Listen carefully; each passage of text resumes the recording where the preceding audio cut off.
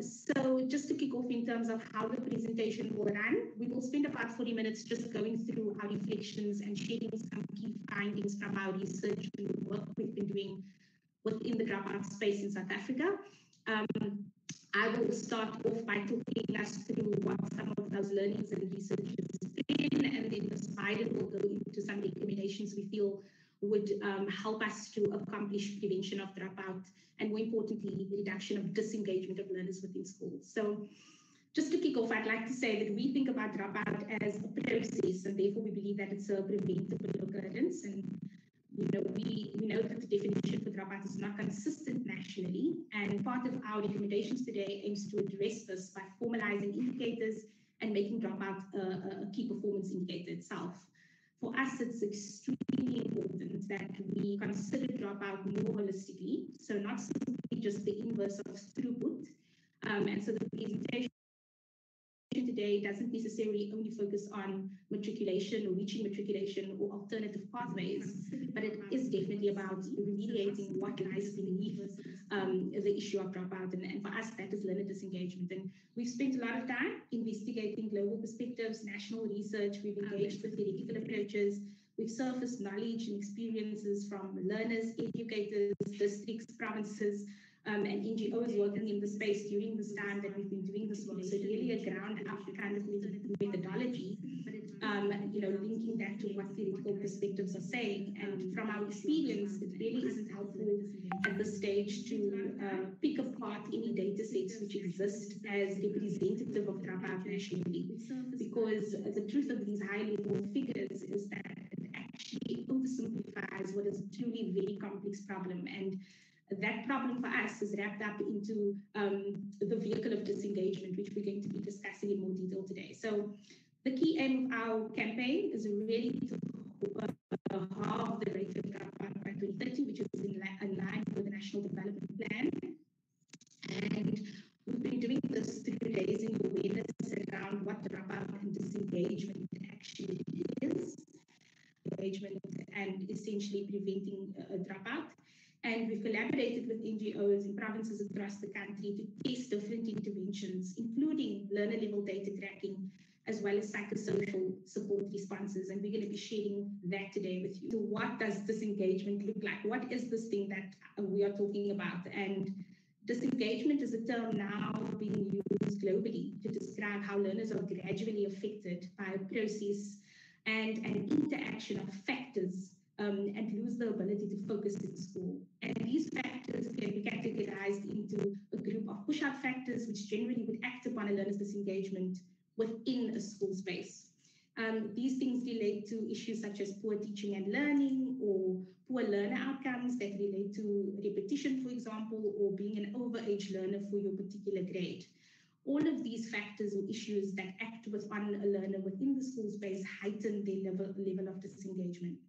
The second set of factors can be categorized into uh, pull out factors, which usually would act on the learner outside of the school space. And these can be linked to issues around community um, factors as well as family factors, which are often entrenched in inequality or effects of poverty, and even you know exposure or experience to traumatic events or violence. And this further heightens the learner's disengagement. Now, in the past, when we've spoken about dropout, we've always referred to it as thinking that it is in direct relation to poor learner outcomes. And in fact, what we've learned is that that is not, um, that is an oversimplification and not exactly the case. And that the issue of dropout actually sits within the sphere of this disengagement that exists and is heightened for learners over a period of time.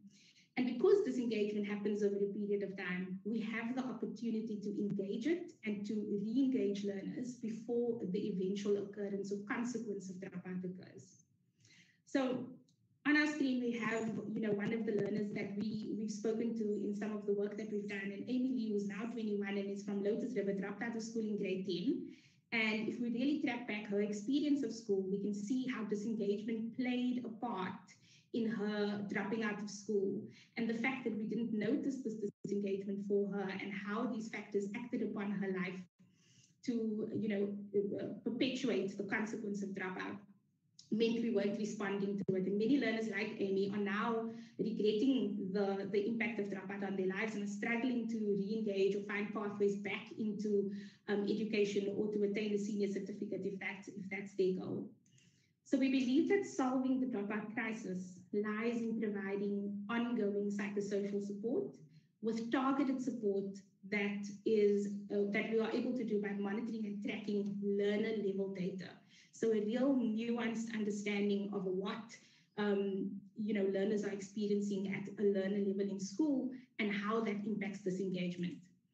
I want to spend some time just quickly looking at the loop between teaching and learning and learner outcomes and disengagement at present and how we're thinking about that within the school space and why we need to shift that thinking. So at the moment, currently we're viewing the cycle with teaching and learning as a as, as, as the pivotal and, and the main thing, which is right to some extent. And so therefore we plug in interventions to improve teaching and learning. However, we have found that disengagement and all associated factors is a root cause, and not only for dropout, but for a range of other learner outcomes. And therefore, what happens is we are plugging these interventions into a negative cycle. If we switch this around and we use the same causal loop, but we prioritize the disengagement, uh, begin with interventions which focus on morale, psychosocial support, and ensuring engagement can happen of affecting positive change within the schools loop. So we are therefore recommending that we focus on psychosocial responses that help us to address this disengagement and therefore the root causes that um, that impact learner outcomes and, and, and, and consequently drop out. And as well as then plugging in teacher and learn, teaching and learning interventions, which have a better chance of having the impact of mitigating disengagement and ultimately preventing dropout because it will be formulated within a positive reinforcing loop um, in, in, in the way that these three factors engage with each other. So we can also see that this kind of approach is useful for thinking about learners who have exited the school system and need to be re-engaged back into the school system. Um, and it's also the kind of approach that's being championed um, globally now with learners that, with schools having gone through the crisis of um, the pandemic. Uh, an example of a 15-year-old learner in uh, East, Eastern Cape, Nolutando, who left school in 2018, consequently became pregnant at the age of 15, you know, she was able to be re-engaged back into the school system because of the psychosocial springboard um, that was in place for her through the connection with her mentor. Um, and so the, the dropout or the disruption in her schooling did not result in, in, in, in a permanent dropout from the school space. Now, the rest of the presentation, I'm going to talk to you about why South Africa's dropout is a crisis and, and how we're thinking about that. And then also how we're thinking about building a resilient education system um, and how we can institutionalize the stacking and the support that we are talking about when we talk about disengagement and when we actually deep dive disengagement differently. We'll also share some of the case studies um, from the interventions that we've um, implemented across the country. And then Ms. Biden is going to talk to you specifically around how these recommendations can be implemented looking at policy. So we'll spend about 40 minutes on the presentation and, um, and then we'll hand over to you.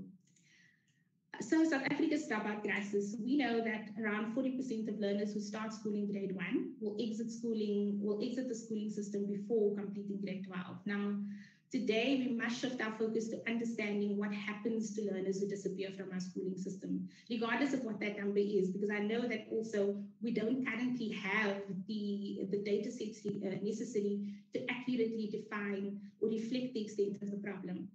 And so we need to start off by trying to do that, but not simply to quantify it, also to understand why it's happening and to understand and answer the question if disengagement with schooling translates into disengagement from life. So we know that um, this crisis or this, this dropout um, phenomenon is mostly normalized and pervasive within the schooling system because we don't see um, us talking about it in a way that helps us meaningfully understand if learners are able to meaningfully navigate their lives should they exit the school system at any point in their journey. Um, and I think the question we need to answer is is if disengagement drives unemployment um, and, and is growing the number of the already 3.4 million youth between 15 and 24 who are not in education uh, or, or employment or training. So understanding nationally that we need to have a coordinated response to tackling disengagement and re-engaging learners into this is a very interesting study that um, Van Broekhuizen and um, Dr. van der Berg at ReSEP did where they tracked a cohort of learners, uh, the 2008 cohort at learner level to see how they performed through schooling. But what was interesting for me about this is that the learner level data um, also gave really good insights into how the learners performed post-schooling. So those that went into the higher education system, by linking and tracking the data across the systems, we were able to see how they managed to perform um, in, in that space and also able to draw conclusions and comparisons from quintile 1 to 3 schools and quintile 4 to 5 schools, um, different races, genders, and also using the wealth index to kind of tabulate um, how the learners perform against those kind of ratios. And so the data at the learner level gives us the opportunity to not only identify risk or identify the problem, but to some extent over time will give us the real mechanisms to be intuitive and start predicting and preventing the kinds of things we see happening within the broader space nationally. When we speak to schools and when we speak to teachers and learners, we often get the sense that dropout is very much accepted, that the idea that finishing school for everybody is not, um, you know, going to happen, is not, is, is not possible, seems to be pervasive and this perception that learners often leave school because they are lazy or irresponsible um, seems to be prevalent. And for us, really understanding dropout is about understanding a child's mental state as they move through what is supposed to be an enriching experience in a place of safety. And currently, we know that is not always the case. And we need to understand why. We need to understand why this is not working and on what level this is not working and how we respond to that so that education becomes more meaningful for all of our learners and educators. How do we do this? We definitely believe that early warning systems allow us to flag learners at risk, to identify risk. We believe that proper data tracking and monitoring allows us to see if we are able to adjust that risk, so how we are um, if our interventions are being successful in how we are moving learners through the system, but also if we need to shift our approach. And exactly the psychosocial support that we are um, you know, distributing to learners or the services that they're accessing, if it is accurate and effective. Why this is so important now, just looking through a COVID-19 lens, is that we know the factors we spoke about earlier on in this presentation have definitely been amplified by the impact of COVID-19. So we know that from the first, first NIDSCRAM surveys, 3 million people lost their jobs by April. We've seen the second study come out now, and it's showing that many of these people haven't been able to re-enter employment or access uh, alternate employment. And so the socioeconomic crisis will persist. And for many learners who were previously already identified as high-risk learners in terms of disengagement, they may be dealing with additional uh, risk factors, and this risk may be amplified and for learners who weren't flagged and, uh, previously, there might be issues now that they are navigating just because of the factors acting on their disengagement that we need to be aware of. And re-engaging learners back into the school space really speaks to this mental state that we're talking about, the psychology of engagement, being able to work with learners in a way so that they are meaningfully engaged in learning and that teaching and learning is able to take place. Um, when we talk to learners about the experience of the pandemic, this is the kind of responses we get, and it really speaks to um, their understanding and their worry and the kind of mental state they'll be coming with, and that's what we need to mitigate. So Cassidy, 15 from Ottery, you can see has a desk and a space in which she's able to um, study. And for many of our learners, we know that that's, that that was also not available. And so for learners like Kanya, who's up in KwaZulu-Natal, thinking about catching up becomes a worrying factor and becomes a factor that you know could heighten his disengagement without the necessary support to hold him within the school space. What does it mean to have a resilient education system? And learner level tracking for us and data tracking at a learner level allows us to have an effective monitoring system. And research has shown us globally that this is what works in terms of preventing dropout.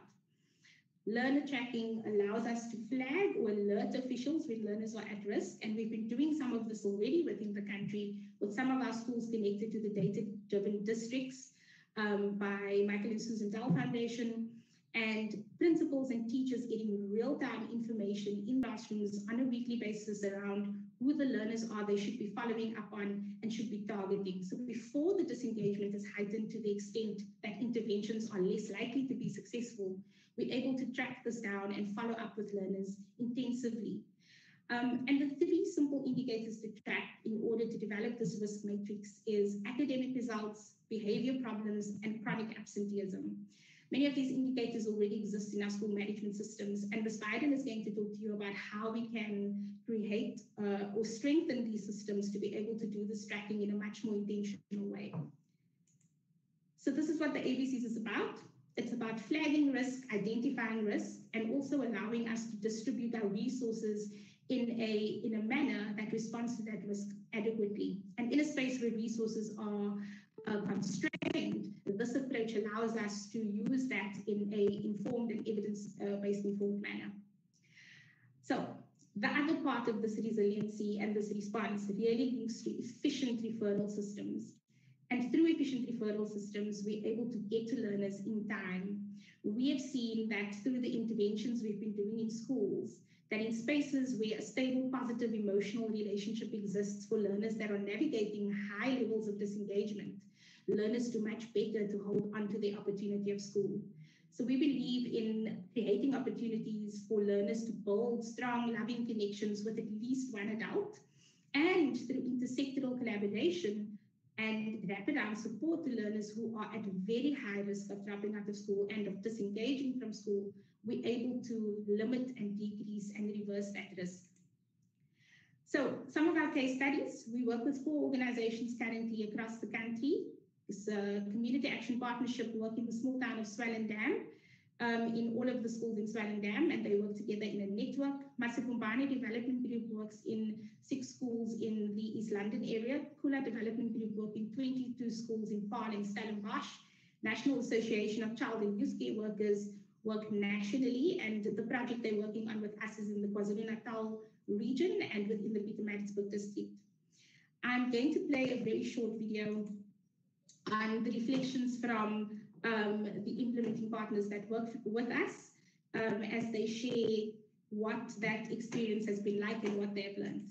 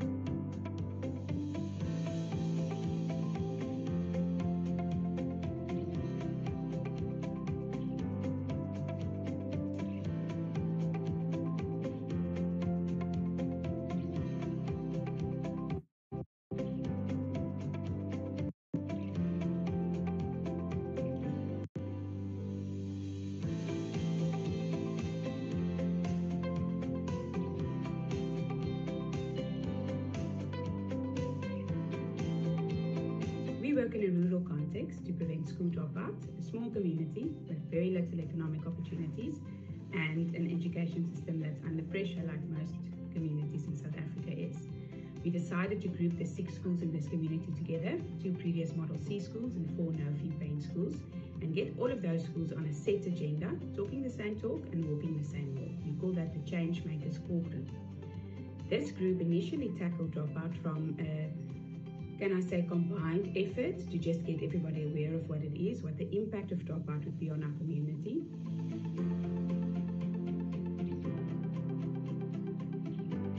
Reason why we've got hard data as a specific model component is our access to data in schools and the, the currency and the relevancy of data. So with our early warning system, we've tried to flag learners initially we did it through the admin system. So we wanted the secretary to be able to say, you know, populate this and it will tell us which learners are there, which learners are absent, send it through to the support, which in our case is the NGOs, and see whether they can't follow it up. What we've realized in the two to three years focusing on this specifically is the with the mandate to ensure that learning takes place is actually the body that we need to empower to be able to flag learners at risk of dropping out.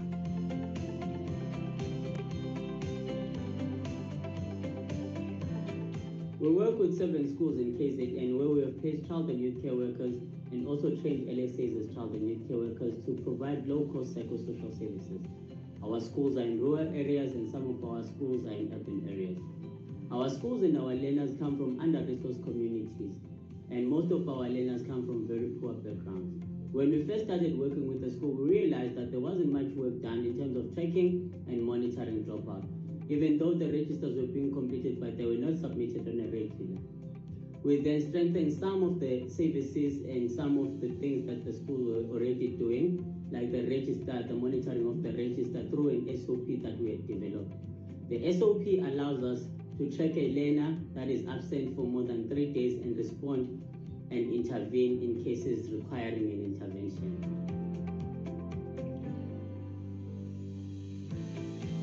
Kula Development Group worked in 22 schools in five areas between Paarl and Stellenbosch.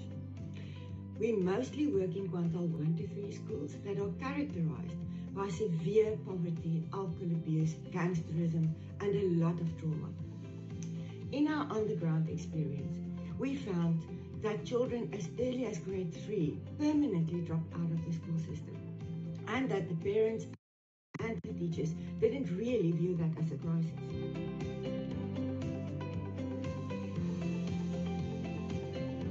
We, we saw that the teachers didn't really mark attendance in their daily registered in a proper manner. Um, that also indicated not correctly on the report cards.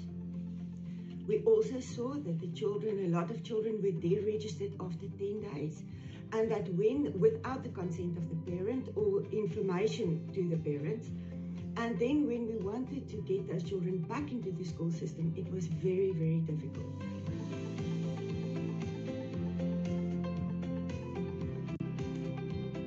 Uh, Check and Connect mentors are trained on an evidence-based uh, data-driven model, which uses uh, indicators of, of school disengagement to monitor uh, learners that are exhibiting signs of dropping out. And then uh, mentors uh, work intensively with the learners, the teachers, as well as the parents of the learner to prevent the eventual dropout.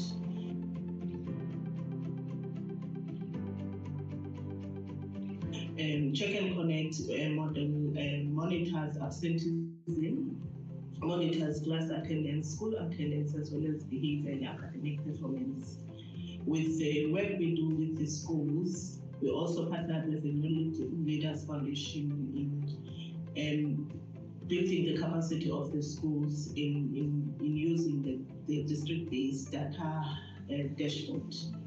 Um, where they are now using the early warning system within the, the, the, the data-driven dashboard and are monitoring uh, absenteeism as well as dropout in, in partnership with the mentor.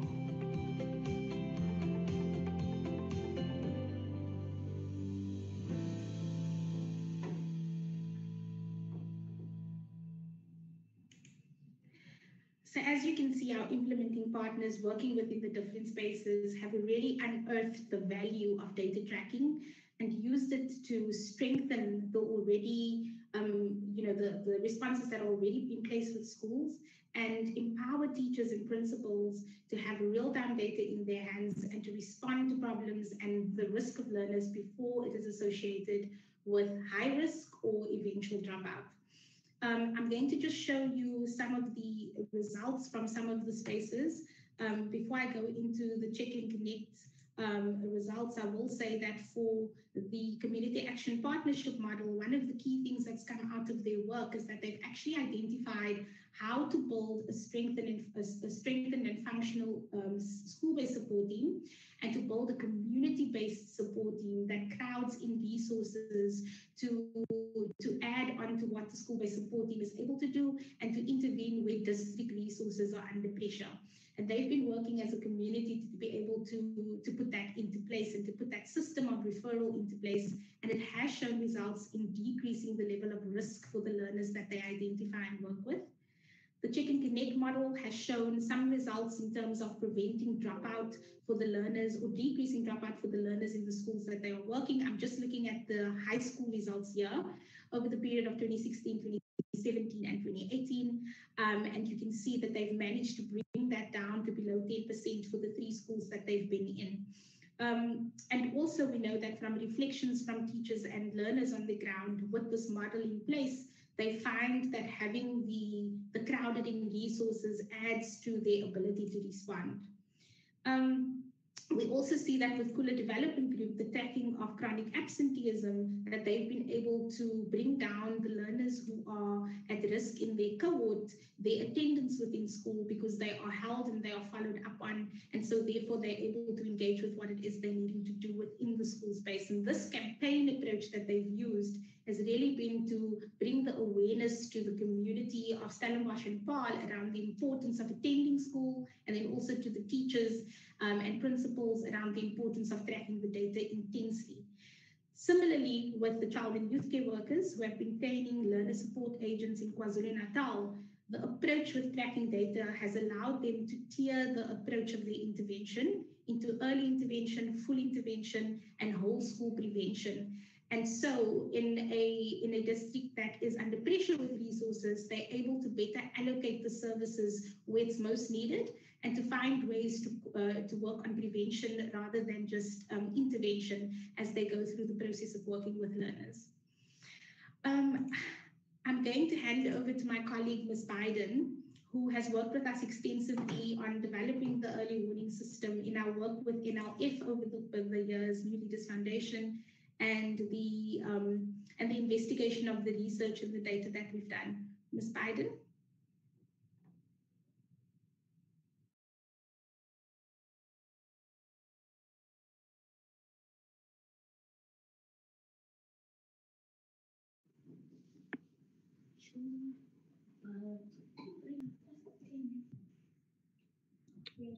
Where is the person that's supposed Um, to? yeah, thank you very Oh, much. Sorry for that slight delay. Um, can let's just check you. Everyone's getting a clear picture. Can you see my screen? Yes, we can. Thank you very Okay, much. Fantastic. Thanks very much, Madam Chair. Thank you, everybody. Um, I'll jump straight in in the interest of time.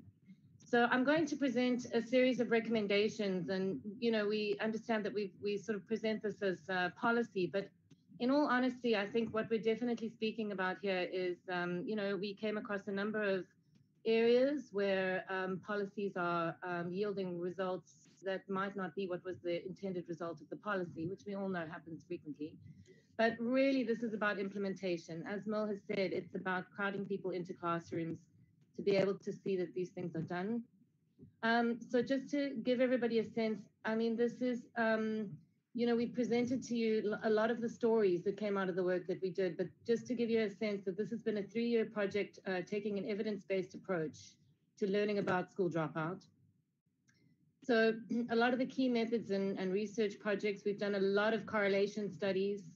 Um, we've un uncovered a lot of the root causes of dropout and an analytic framework for that. Comprehensive reviews of the international as well as the local literature. Um, through really getting to grips with this data at the school level, um, which was sort of my role in the project, we were able to really find out not from the high level and retrospectively um, where the problem lies, but actually to be able to see and uncover a lot of technical issues with the data itself. So our first major recommendation is to make dropout reduction a KPI. One thing I can say from my experience working in government and also on this project is that there is um, a lot of effective monitoring that takes place when something shifts into the focal point of the interdepartmental accountability structures. Currently, the status quo is that we have seen an increased attention uh, on the problem of dropout with root causes being identified and addressed. I think this problem is definitely coming to the forefront because we have come to realize that it is drawing to a halt any attempts we have to achieve so many other KPIs uh, related to education. We see it in DBE's revised five-year strategic plan um, for 2015 to 2016. It mentions dropout um, and does place an emphasis on keeping learners engaged. Um, but there's no target identified. And it also, we, we frequently see, and I think a lot of this comes from the um, sort of making the household surveys our starting point, but it positions dropout as something that falls within a special need or some subset of learners.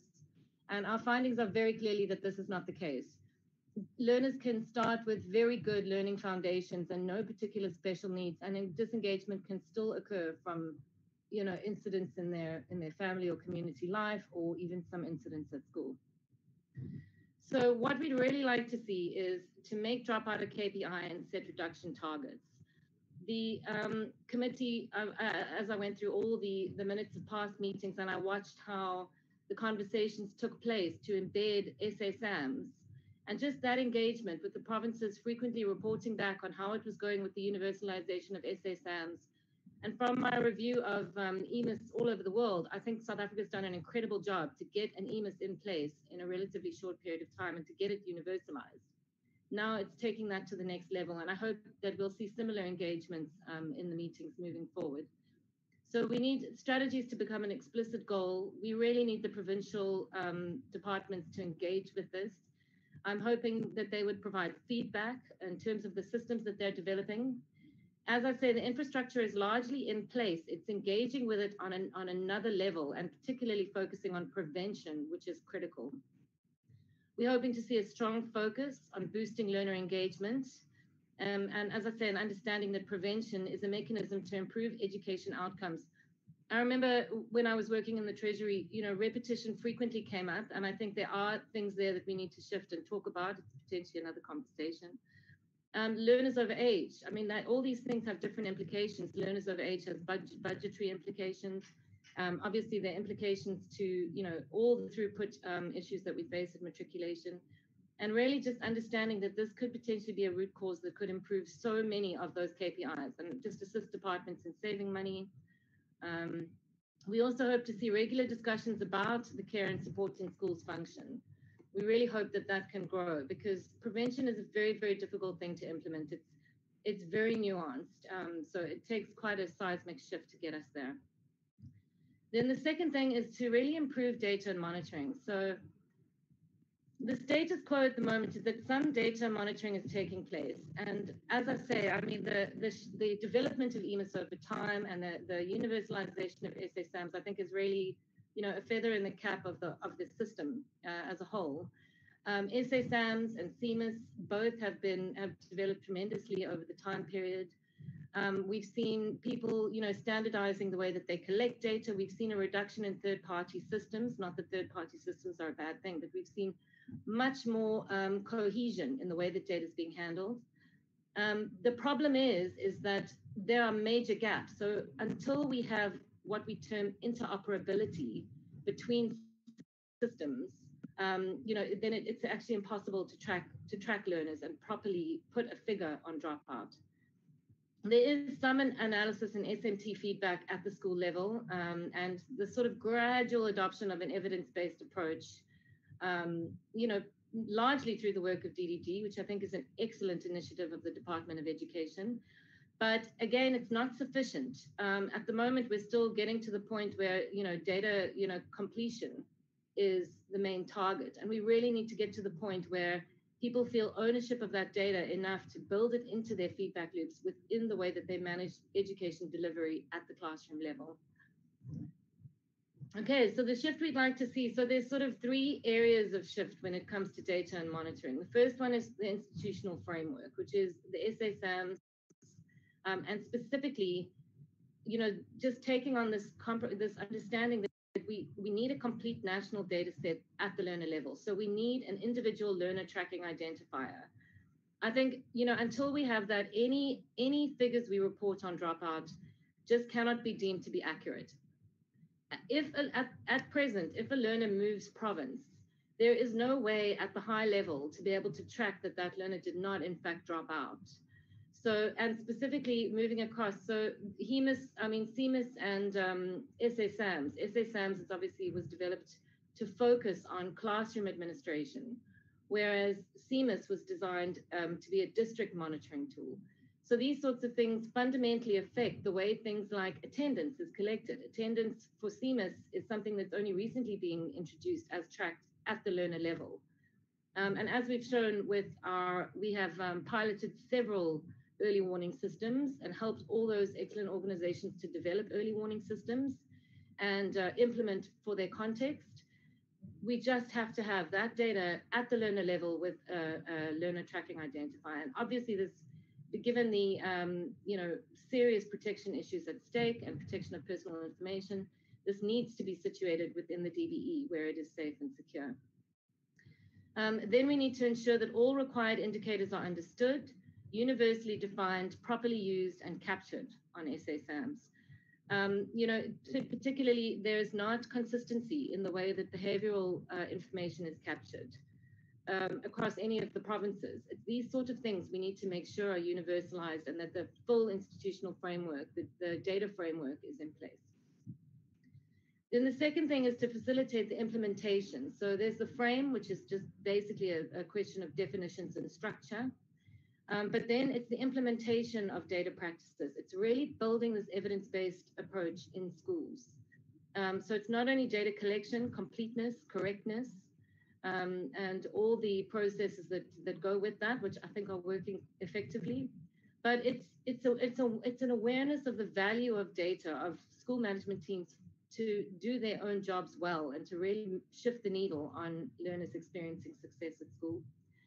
But then it's also the infrastructure and human resources. In some of the material that we generated, we identified that, you know, particularly in some of the very rural schools, in Mgungundlovu, for, for example, you need more than one computer. Um, you know, principals will frequently go um, for meetings and take a computer with them. So it really is focusing on the, the real nitty gritty of off the ground um, uh, infrastructure required and human resources. So as we were saying about crowding, crowding people into schools to be able to facilitate this process, we believe that we could establish a learnership which could sort of carry the campaign, the definitions and understanding of these indicators. Um, also some information on how to use an early warning system, what it means to risk profile learners, which would all be automated, and then what to do with the outcomes of um, of you know the the risk um, analysis and then how to design school design and implement school level interventions. So we've been referring a lot to building an early warning system. I mean again we have a functional emis. We're in a good position to do this. It is the next logical step um, is to build analytics on the emis that we have. It's really about the right indicators at the learner level and then to design this risk assessment already the dropout, there is a, an early warning system for dropout uh, available to principals. They receive uh, push notifications or emails every Friday. Um, but at present, the system is only built to look at chronic absenteeism and only in the provinces that um, use SASAMs. So, you know, if we could make something like that comprehensive and include a fuller range of indicators, it could substantially empower us to be able to prevent dropout reduce disengagement, and get uh, teaching and learning really working well. Um, so, and then it's creating the time and space in schools to track these ABCs with the ability to assess the interventions that they create over time. And then finally, the third recommendation is to focus on this provision of psychosocial support. I think this is something that's just absolutely critical. For me, the key piece of analytic research that we did was we did a, a correlation analysis to figure out of all the organizations who was having the greatest effect um, and why. And the strongest correlation we found was not so much program dependent. Obviously, you know, the support you're providing is highly significant, but it was having somebody there continuously that made the single biggest difference to reducing dropout across the projects. So the status quo is that we know there are a range of policies and processes and some good work being done. White paper six, um, the psychosocial support strategy, but we don't see these explicit plans yet crossing over into the district level conversations. We don't see the schools um, properly taking this on.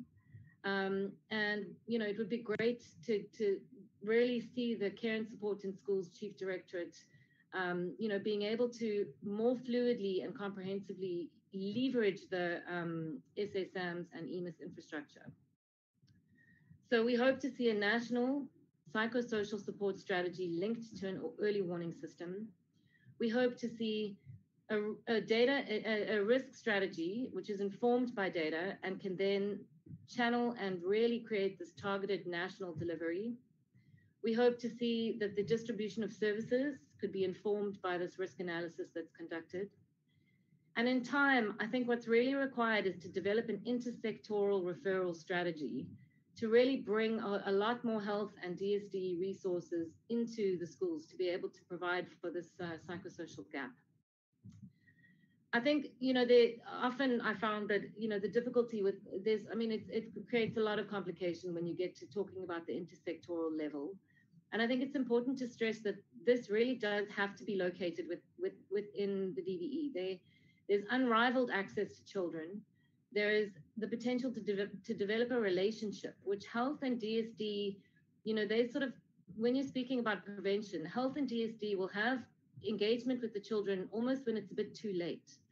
Um, so that's why, although we're talking about crowding these services in, we really need to situate this within the, the education system where there is a strong institutional as well as a data framework. So I think that's it. I think we, we have the potential for real impact with learning outcomes. And thank you all very much for giving us this opportunity to present our findings to you. It's been an absolutely brilliant project. And I hope that you will also take the time to go and view some of the resources which are available if this has sparked your interest. Thank you.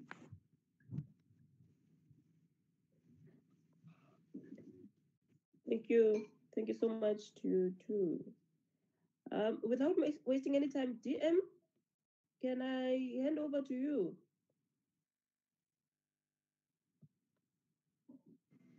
Chair. Uh, uh, yes. Can I, good can morning. And good morning to. Yes, um, I am leading the department. It's just that I, I forgot how does the program look like because after this, I thought that as a department we are going to present the analysis of learner dropout rates as per what transpires at schools. Uh, we really appreciate the presentation by the dropout campaign and uh, they, they, they, they give more highlights on what should be incorporated, of course, in our programs. But uh, I think now we can allow the department chair to, to present the DG is here to present on our own analysis because on the issues of dropout, Chair, I don't want to enter into that debate that much because uh, we know that now due to COVID-19, as many learners in some provinces have not come back. And as we think we are addressing it, but it looks like it's a moving ghost because it depends upon the conditions on the ground and in the society and the families. Uh, but uh, we are trying our best as education also, and we appreciate to have partners who will work with us because issues of drop, dropout, it cannot be handled by education alone.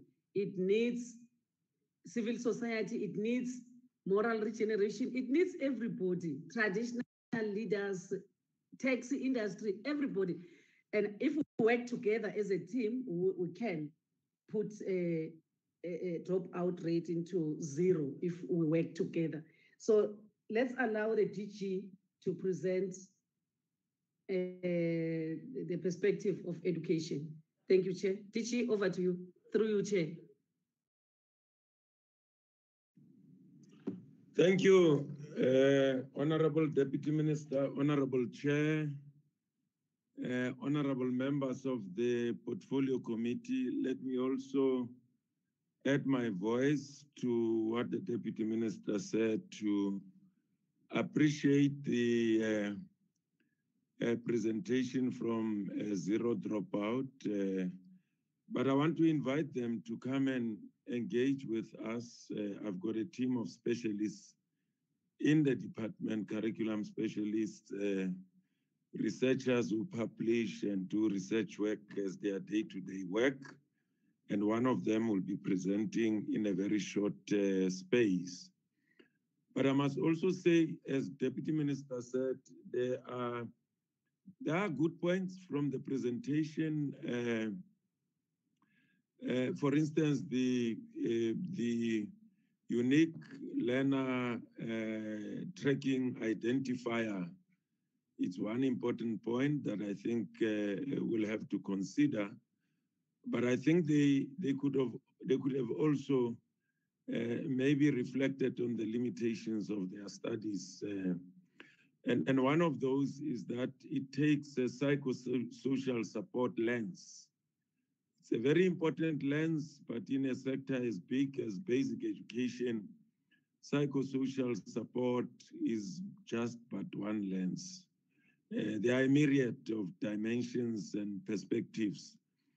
Um, and therefore, it might create an impression that the, um, the perspective is the, the be and all, and uh, it might be a bit uh, problematic. The other issue, before I request uh, Dr. Taylor to quickly share our perspective, is that we have warned, we've warned even academics, researchers, and uh, intellectuals that uh, a linear approach in uh, analyzing dropout rate, rate in a in a in a system as big and complex as ours is extremely problematic.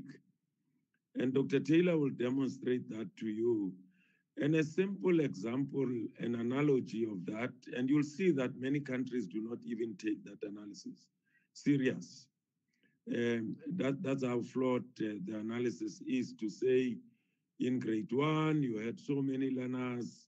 Uh, at the exit grade, you've got that's problematic. It's a linear approach. It's flawed, terribly flawed. And one of those flaws um, is to assume that all learners uh, who have not gone out of the exit grade have dropped out.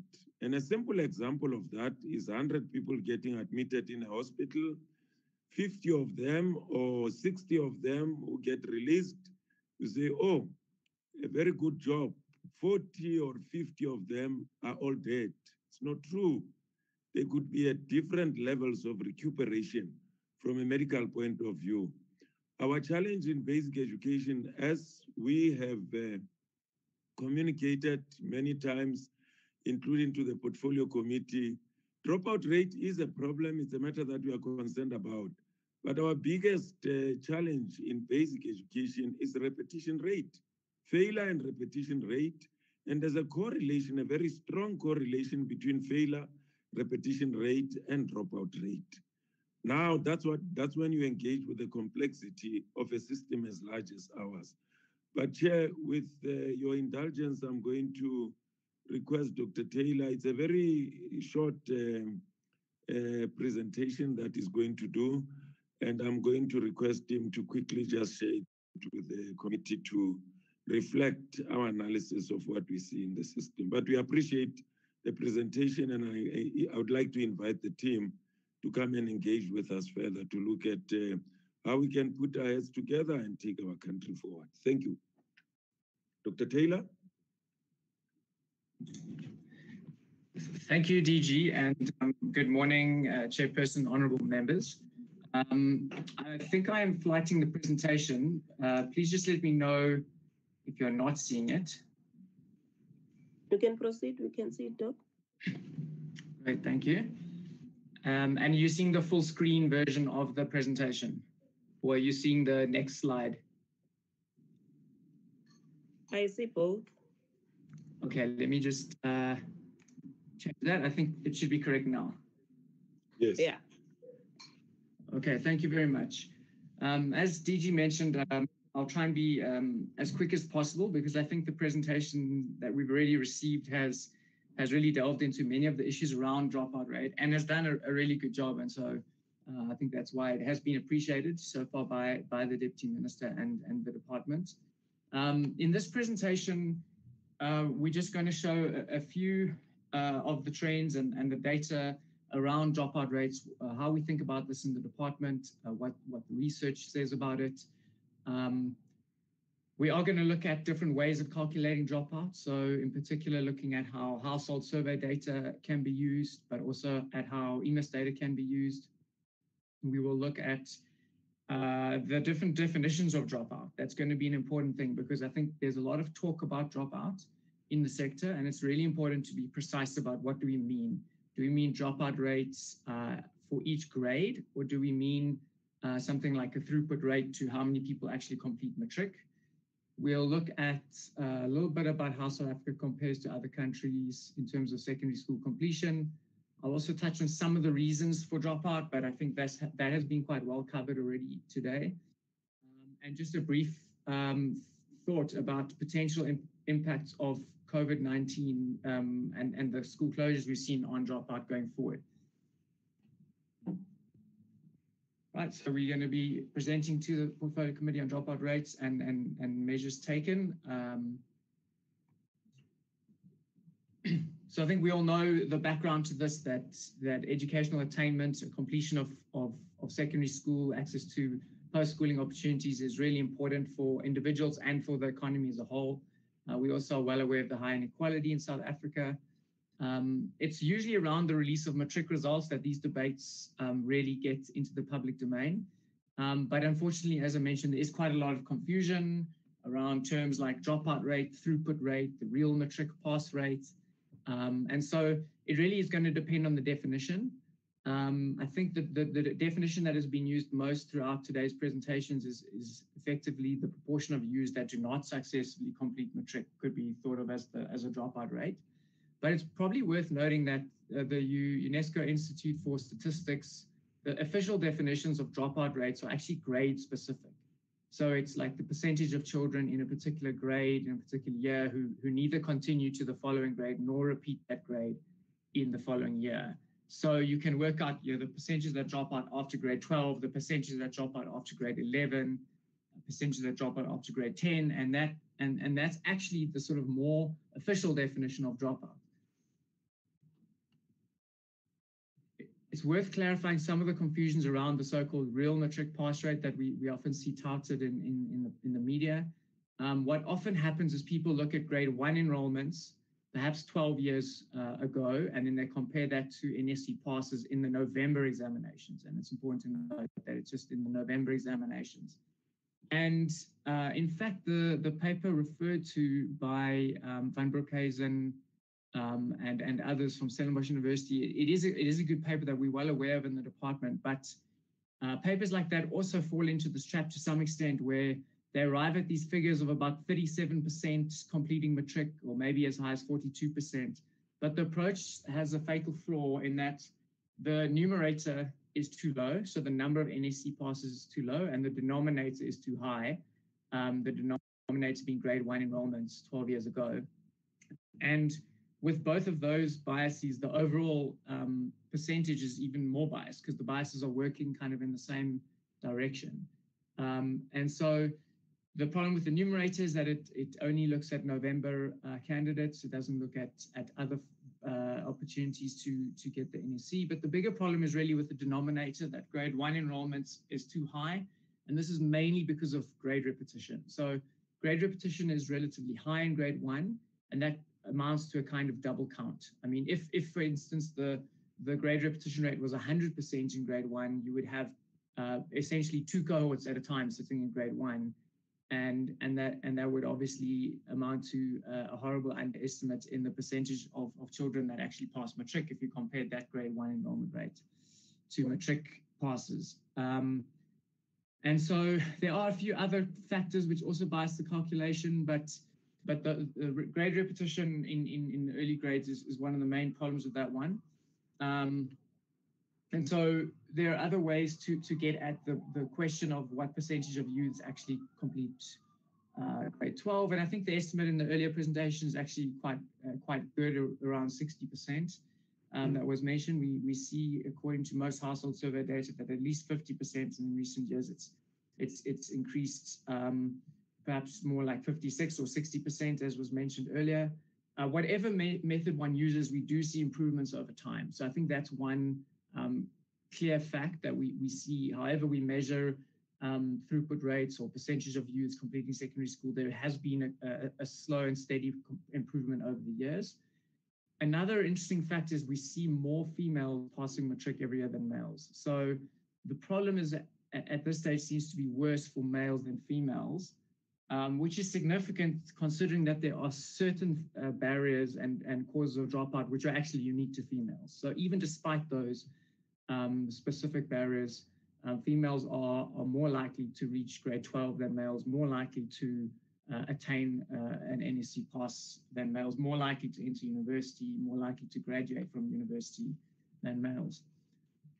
Um, this shows some some of the uh, general household survey estimates over the years. We see we see improving percentages of, of youths having completed grade 12. Uh, we see the improvements driven in particular by the um, Black African um, population, which is good for, for, for equity, but there still are significant gaps between the, the population groups. Um, just a few statistics from, from one study done by um, Branson and others in 2013 using the National Income Dynamic Study data. It's, the data is a little old now. It was data from 2008 and 2010, but they looked at this issue of grade-specific dropout rates. So now what, what percentage of children dropping out after each grade? And um, what this graph mainly shows is that uh, the dropout rates tend to start picking up uh, towards the end of secondary school. I think that's a well-known fact that there's not high rates of dropout in, in the primary school grades, but especially grades 9, 10, 11, 12 is, is where we start seeing um, more significant dropout. Uh, this is an, an, another way of, of calculating uh, dropout rates or conversely survival rates for every grade. Um, and we see the same pattern where the percentage dropping out after attaining particular grades that, that increases dramatically in, in grades uh, 11, 10 and 11.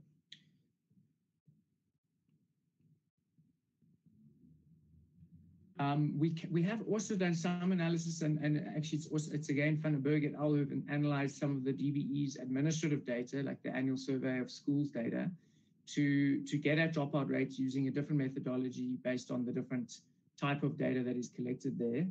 Um, and there have been some some difficulties uh, across years um, with with the data sets, but but at the end of the day, the, the analysis is not uh, horribly out of line with what the General Household Survey is estimating. So the, the, the broad trend of, of higher dropout rates being observed uh, towards the end of secondary school is, is coming through however we measure this. Just something on international comparisons. Um, of course, we do want to see uh, the, the grade 12 completion rates continuing to increase uh, every year.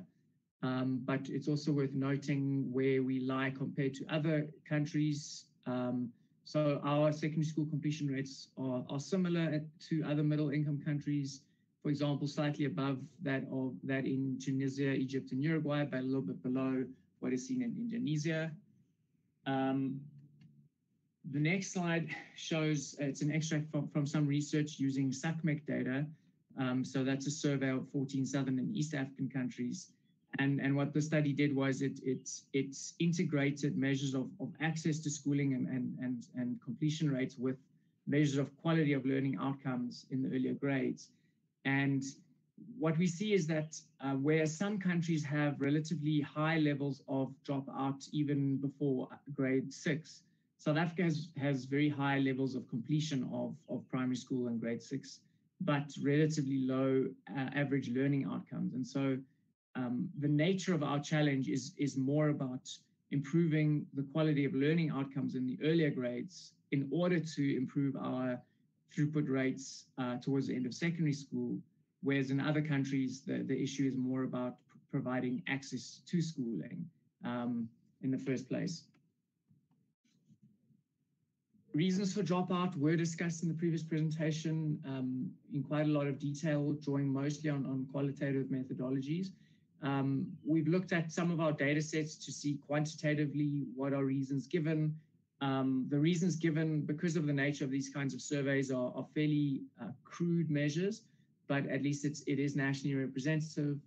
Um, what we see uh, for for for grades sorry for for age seven to 15 year olds where there's not very much dropout um, disability is still given as a as a reason but but one has to interpret these reasons given um, cautiously because this is this is reasons provided by by household respondents um, so it's not it, it, it's not sort of an objective measure why people dropped out for instance we still see quite um, quite a lot of people uh, referring to no money for fees when we know that uh, I think it's about 70% of South African children now benefit from fee-free schooling.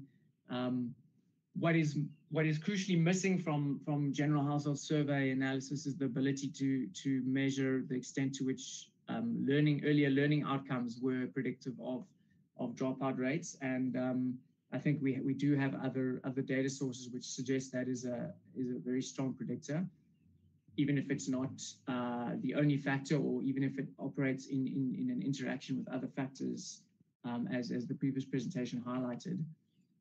Um, Branson et al. Find, find a number of reasons um, for females, pregnancy and family responsibility still is a, is a often cited reason. Just going to keep going. Um, some thoughts on, on grade repetition as a cause of dropping out. The, the DG mentioned that it is a complex interaction of these factors in a large system. And, and, and so there is this question about uh, does, does high levels of grade repetition actually cause dropout? Uh, I guess the theory there is that um, repetition could discourage children because it could, it could make them relatively old for their grade. Um, so that other options uh, might become more attractive than staying on in school. On the other hand, it's it's theoretically possible that grade repetition can have a positive effect if, if in fact it, it, it leads to improved outcomes and remedial support. Um, in reality, it's very difficult to measure the causal impact of grade repetition on, on dropout rates um, because grade repetition itself is already influenced by, by, in particular, weak academics, which also causes dropout rates later. So we're a bit uncertain about the, the, the exact extent to which grade repetition should be seen as as as a cause of dropout. But I think there's two two obvious points that we can make about grade repetition. Firstly, that we should primarily understand it as a symptom of weak learning rather than as a cause of educational problems. So repetition and dropout rates should be seen as as symptoms of, of weak learning outcomes in the earlier grades, and, and that should be where the main, major focus goes. Um, secondly, um, it is it is clear that where we see high rates of grade repetition, this is an inefficiency in the system. It, it leads to higher class sizes. Uh, it, it, leads to effectively more years of, of public spending on education to achieve the same outcome. So I think we, we're well aware in the department uh, to try to reduce grade repetition where possible to get it down to more efficient levels. Um, so we've discussed much of the reasons for dropout, but I think the local and international literature suggests that that it's a combination of circumstances, um, not necessarily one isolated uh, cause that, that is usually the case. Um, the ministerial report of 2007 was actually quite an important um, piece of work on the topic. And there's a number of studies that, that have shown the strong predictive relationship between earlier learning outcomes and later um, educational outcomes like, like passing matric. So um, the, the, one, one study a few years ago looked at uh, TIMSS data from grade eight and, and tried, tried to trace uh, candidates into matric a few years later. And what was clear was that performance in grade eight maths and science was strongly predictive of firstly reaching matric, secondly passing matric, and thirdly performance in key subjects in matric. So the earlier learning outcomes are, are, are strongly predictive of, of matric outcomes. Um, we saw also the study mentioned by Branson et al. focusing on the national income dynamics study that not keeping pace at school also was related to dropout. It's worth noting that females have, have this advantage despite there being several girl-specific barriers and causes of dropout. And I think that is in line with the idea that, that academic uh, foundations are important because we do see, especially in recent years, um, that girl learners are performing better than boys, especially in literacy, but even in maths and science. Uh, in studies like TIMSS, the, the, the performance they've now caught up to boys, um, and we see we see many female advantages when it comes to learning outcomes. Right, as we keep going, so obviously this year has been um, yeah, been been quite something, and and one should ask the question what what is the effect likely to be on dropout amongst other things in the sector? And i think there might be reasons to expect short-term and long-term impacts. We don't yet have any data to measure this. Obviously we we don't know what the impact will be but there might be some short-term impacts based on disengagement that has happened this year um, with a lot of school time lost. Um, then this may have have you know contribute to the, the push out factors that that that we've already spoken about today um, and uh, and so I think that that just points to to the, the need for us now that schools are reopened to to really minimize further learning time uh, losses this year. But there could be long-term impacts as well. The, the effect of 2020, um, especially in the early grades, um, we do know from from from local and international studies that that this kind of, of large learning loss in the early grades tends to be predictive of lifelong outcomes like completing secondary school by even going further to, to labor market performance. Um, we've seen in in a, a, nationally representative household survey, the NIDS CRAM survey, that we've seen unequal losses of school uh, uh, attendance. So we've seen in uh, in the more affluent households, we've seen higher levels of attendance, in particular um, when in the grades that were closed at a, at a, at a time. So it seems that um, we, we, we may have a, a multi-year process of recovery now on our hands, um, which which we need to take seriously if we're going to reduce dropout rates in, in years to come. So in conclusion, um, I think as much as the causes of dropout are, are complex, as has been discussed today, um, we do need to deal with the, the sort of root cause, the, the most fundamental predictive issue of, of weak learning foundations at the same time mitigating the, the triggers of dropout, the factors that actually do push uh, or cause disengagement towards the end of secondary school. Um, we and and as I think the DG also alluded to, you know, there are other pathways as well, um, other than an academic national senior certificate, and so strengthening those other pathways um, is is another important priority.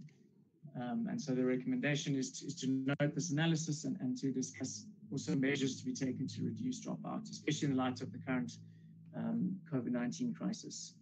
Um, thank you very much, uh, Chairperson DG.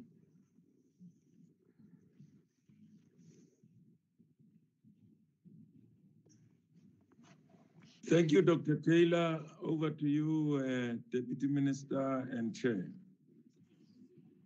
Chair, thank you. Over to you. All right, thank you very much, um, DM, DG. And uh, thank you very much to the, um, the presentations that we have we have received. Now, I'll, I'll allow members to interact. Like I have said, we will allow members to interact with both the the presentations. We now, fortunately, I've got both um, perspective from dropout campaign and the and the department, which then makes and gives us an opportunity to reflect um, on on what we have heard um, from both of them. The hands that I have noted uh, now is Honorable Marchesi and Honorable Sukers. Are there any other hands? There is Ngobo's, uh, uh, Honorable Chair. Ngobo. And Honorable King Chair. King. Shabalala. Shabalala. Shabela. Mashabela. And Suela. Siwela.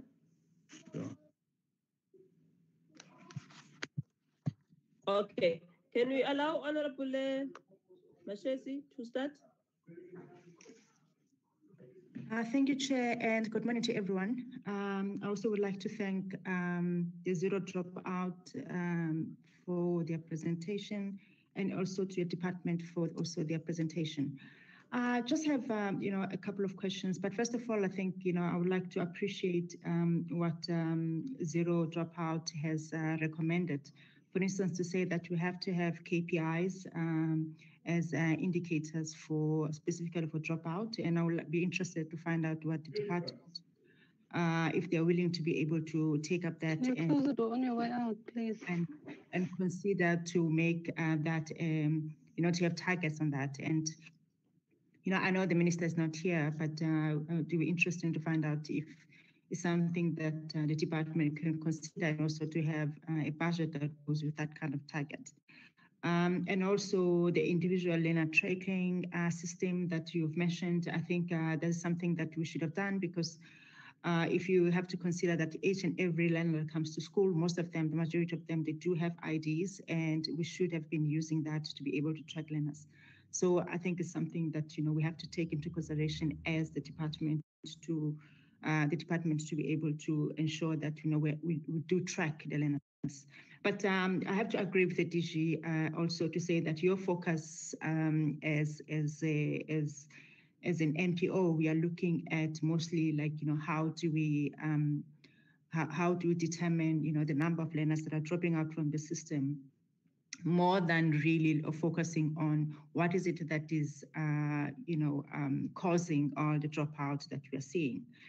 Um, but it is, I think it is right uh, on the other hand to be able to say, you know, how do we ensure, how do we know, you know, how many learners have dropped out system? Because up to so far, the department hasn't been able to give us the accurate uh, percentage of learners who are dropping out. All that we are is that they are uh, refuting the, you know, the allegation, whatever you call it allegation or whatever data that is coming from the education fraternity and also, you know, uh, uh, different organizations that are saying that uh, we have a very high dropout rate.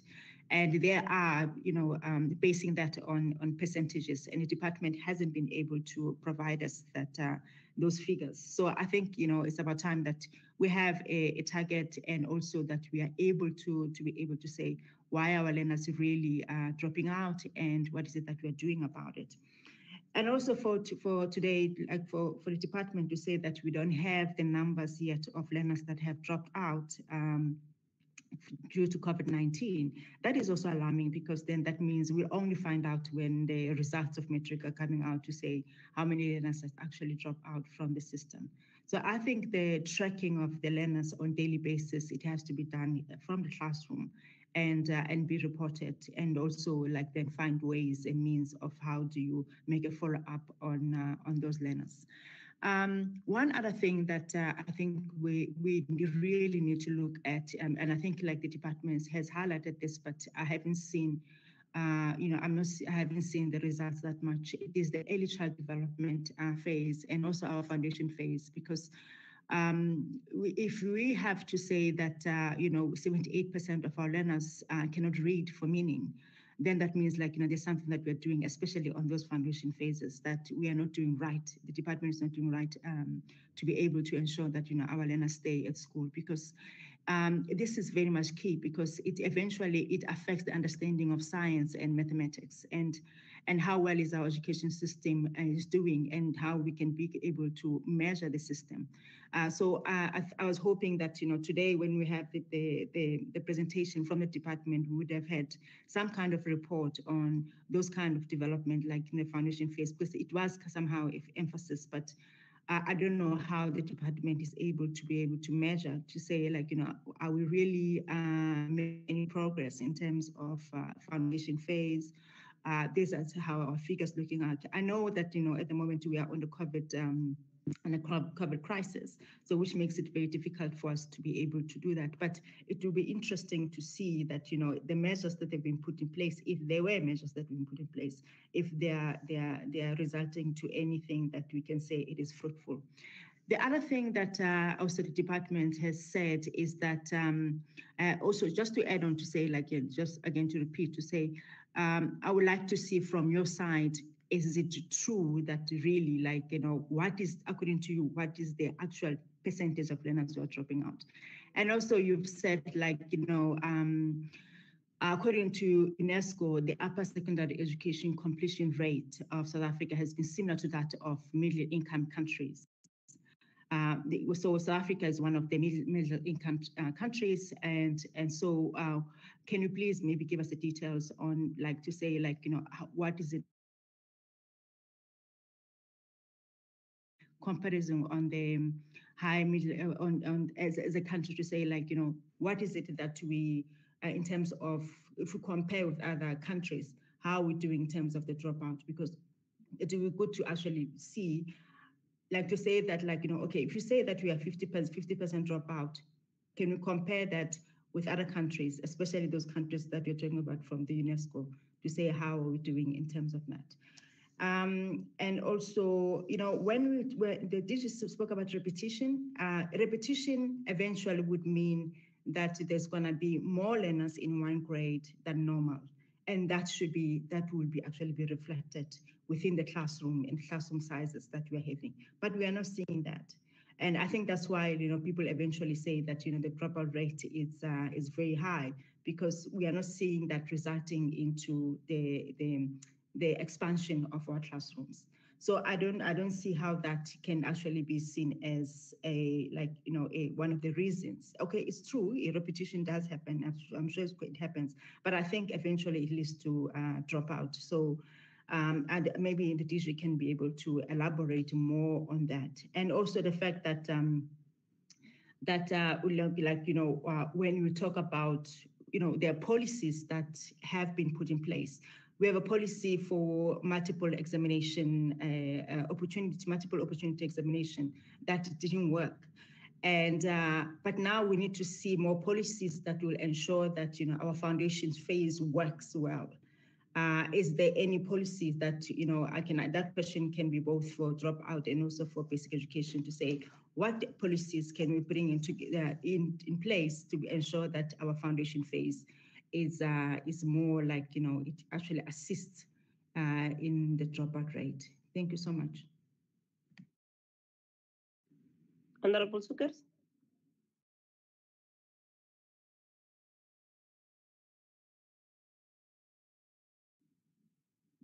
Honorable Chair, may I ask that um, I'm here, Chair. May I ask that I just uh, keep my video down because my internet is a bit unstable. Is That's that fine. Yeah. Yes. Okay, I, I also just want to um, add my appreciation for the presentation.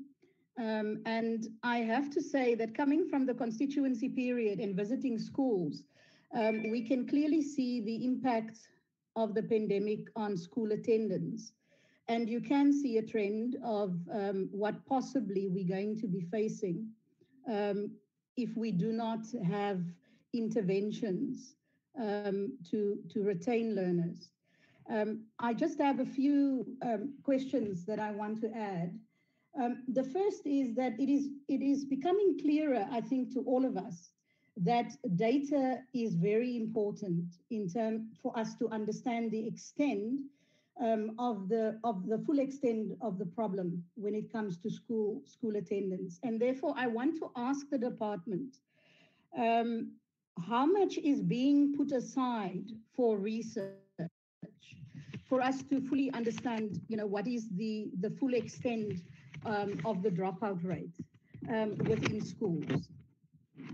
And then the second is around um, the the interventions that are being mentioned and, and it comes again to data I have a concern that we are asking more of a of teachers, administrators at schools, specifically your poorer schools, that does not have the capacity um, to to to um, get more um, data to monitor to to get research or not, not research but really to to get the data that is being required. I'm, I'm asking the question are we not putting a further burden um, on a system that is already overwhelmed. Um, when we when we request, um, you know, for teachers and schools to do this, and I'm referring back to my um, constituency visits, where I found principals being overwhelmed with the amount of administration um, and feedback that they need to give within provinces. And if we now add this um, to to their to their load, how much of that is really um, going to, to be effective? Um, can we ask more of teachers? And then in terms of the issues around um, the Amy Lee video that uh, or story, we we ha- we have brought this up previously, Chair, around the National Senior Certificate for Adults, NASCA. Um, certainly, we can look at this program now um, because next year we are going to have more learners that does not complete matric this year. So the National Senior Certificate for Adults certainly can um, be a program that we can uh, that that is uh, equivalent to the matric qual qualification, and it does cater for learners who have so-called dro dropped out. So my question really is. Um, the DBE that the existing matric programs does not meet this need. Um, and can we, you know, um, fast track the NASCA? It is critical. Um, and I, am asking the NGO that presented um, if they have any comment on the impact that the implementation of a national senior certificate for adults um, would have in, in, ensuring that learners who dropped out can acquire a matric equivalent qualification. Um, The other uh, point that I also want to make is that it is said that teachers cannot attend to the needs of all their learners because of the heavy workload. I've mentioned that. And that the pressures of school calendar coupled with the impact of large class sizes and the administrative administrative work that teachers are doing are simply not able to adequately assist learners.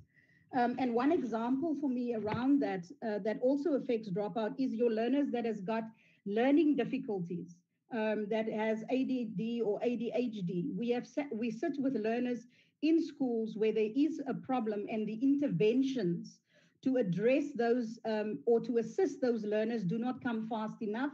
And so you have learners dropping out. And we specifically in the Western Cape chair, we see this a lot where you have children with learning difficulties that falls out of the system. Teachers cannot cope with um, you know with the additional assistance that needs to be provided and those kids fall through the cracks. So we in terms of the um, how do we how do how, how do we um, transform our system or not transform but really support the system in order to get early interventions for children with with um, learning difficulties? Because unless we do that we are not going to um, not going to retain the most vulnerable learners that can fall into um, social social um, ills such as gangsterism and the like. Um, I also want to just know how has the COVID pandemic impacted um, the work that implementing agencies do? And this is specifically, again, for the NGO. Can you share your experiences, especially uh, specifically here in the Western Cape, which has been um, severely impacted by by COVID by COVID-19. Then um, my final question is again, and it may be a repetition, but much of the information that has been presented, and I've highlighted this in the beginning, um, much of the information in the presentation by the DBE is out of date and not um, uh, for matching periods. Some of it is over 10 years, and I think um, the presenter uh, uh, mentioned it. Um, you referenced the study from NIDS that is from 2010 and wave two, um, yet NIDS is now on wave five. Could you tell, tell me if the DBE allocates enough money to research?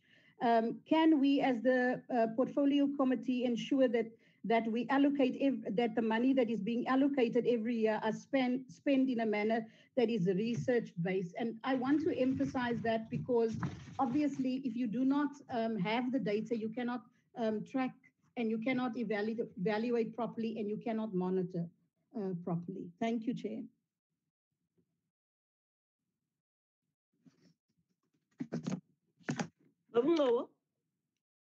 Uh, thank you very much, uh, Chairperson, and I thank uh, uh the presenters uh, for their very uh, interesting work. I just want to maybe, after thanking the presentation, say uh, well, we, we are on ground as of now, and uh, we we have been witnessing uh, the, the, the, the, the huge loads that uh, teachers are confronted uh, by in schools. And uh, one must, especially because of Corona, and one must get the uh, assurances really uh, from uh, the deputy minister and the uh, uh, DG present there that um, indeed, there is going to be ongoing assistance uh, in terms of assisting teachers in schools. Sometimes its default uh, lies with the department that does departments, provincial departments that do not respond on time. Sometimes it's because of maybe uh, the principals of schools themselves uh, who are uh, uh, somewhat getting used uh, to to to to to the pandemic, something that is very unimaginable. Uh, but it's as if we, we, we, we are back to normal now. Uh, it's not that new normal which we have been talking about. So the department uh, must give us some assurances that uh, there, is always going to be uh, proper monitoring and assisting those that are most vulnerable. in the conclusion, I just took uh, one uh, point which says uh, the department is uh, uh, going to try everything possible to protect time and keep teachers in schools. Uh, that sounds very good. one would agree with the department that we, we need to do that. but you know, as as as as we do that, let us make sure that um, teachers in particular work under conducive circumstances. Uh, I'm saying they, they must work under conducive circumstances uh, because of the very first point that I, I, I mentioned earlier on. Uh, if, if, if circumstances are not conducive in schools for teaching and learning, uh, what we, we will end up getting is not only uh, people who drop out, uh, but we will also uh, get people who will be affected uh, psychologically, both the teachers and the learners. Uh, I just wanted to raise those two. Thank you very much. Honorable King. Hey, good morning, everyone. Um, and thank you for the presentation. Um, it is really insightful um, to see how much research actually went into um, learner dropout. Uh, my first um, point will be to say that um, I totally agree when you say that we need an individual learner tracking identifier, um, and that should then be linked to the to a system that, like as you mentioned, the intersectoral reference strategy.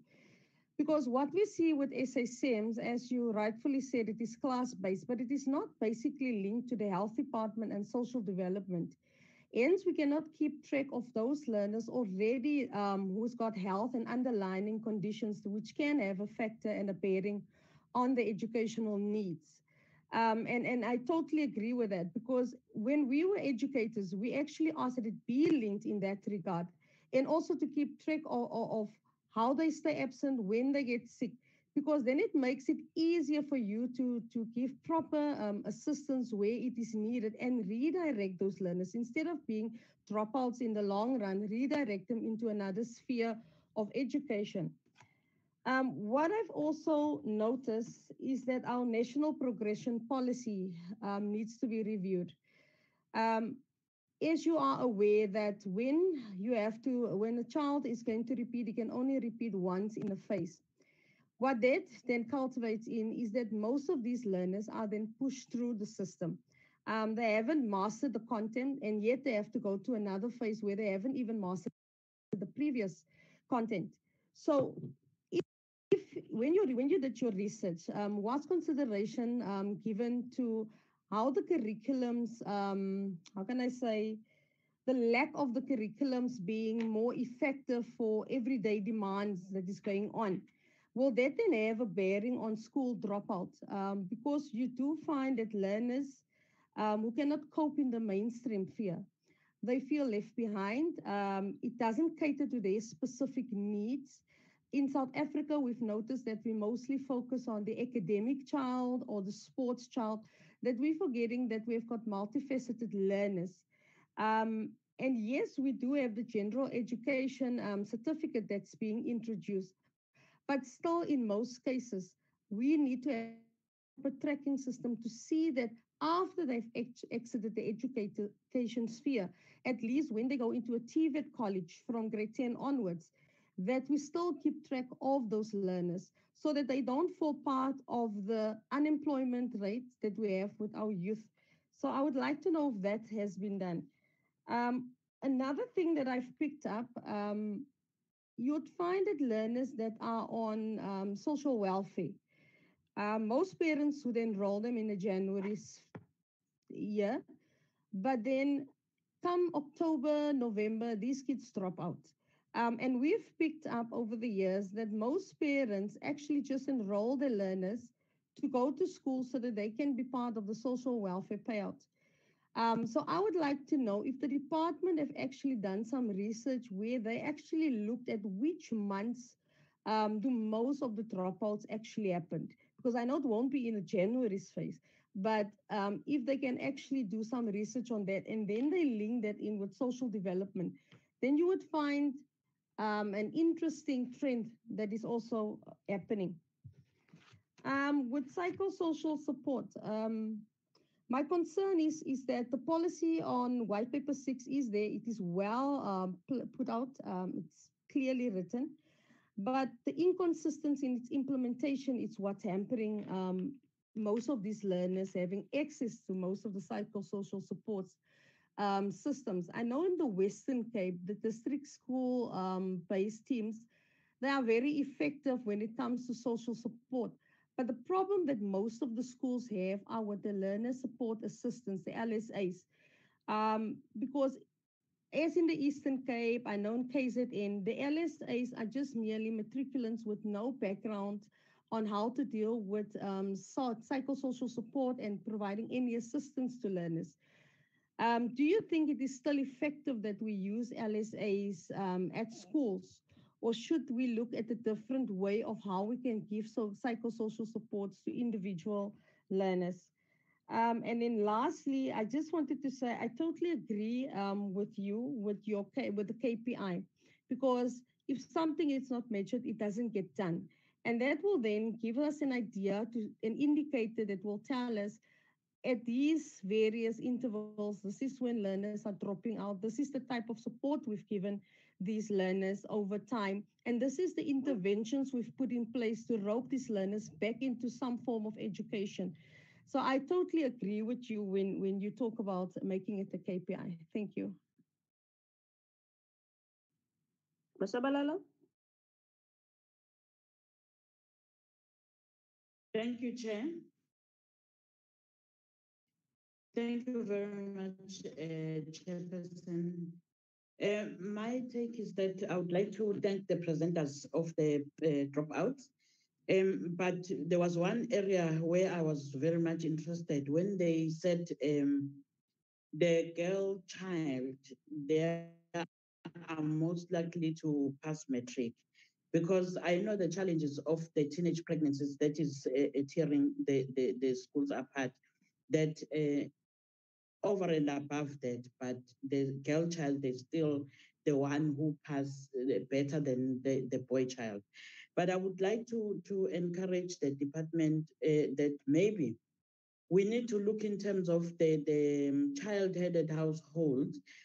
How are those and followed up with those students? Because we'll find that most of them, they are ones who are affected in terms of the dropout and, and other things. So, Chair, I, I would like if then the department maybe can have a special program that will be focusing on the child-headed households. Thanks.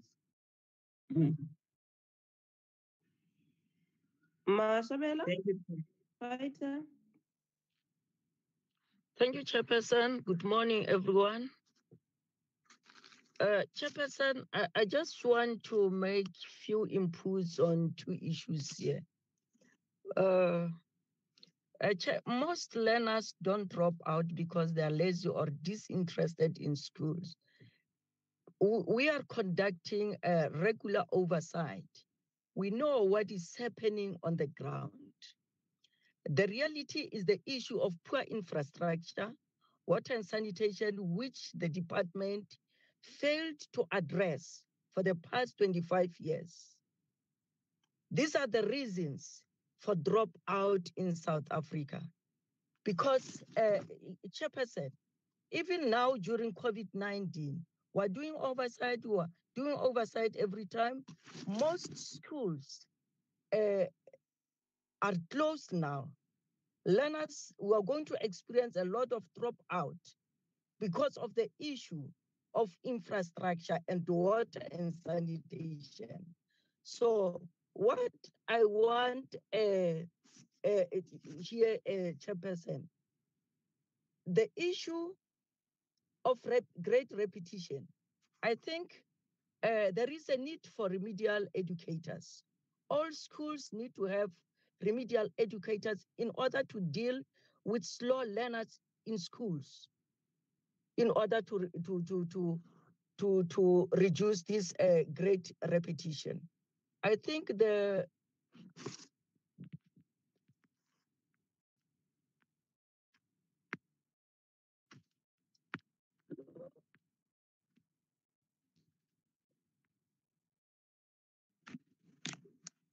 Mashabela, Honorable Mashabela, are you still there? She's breaking up now.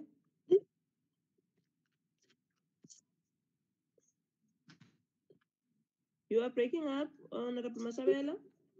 She's completely lost uh, Mm. of the reader, Chair. Yeah, she's gone.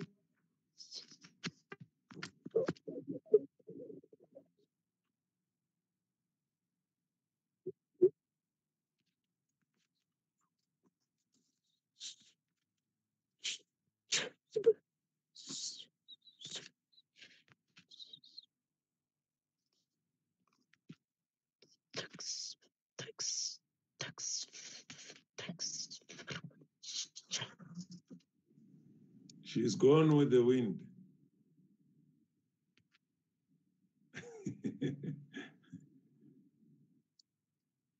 Chairperson, should we take uh, Honorable Shubela, who is next on the list? Yes.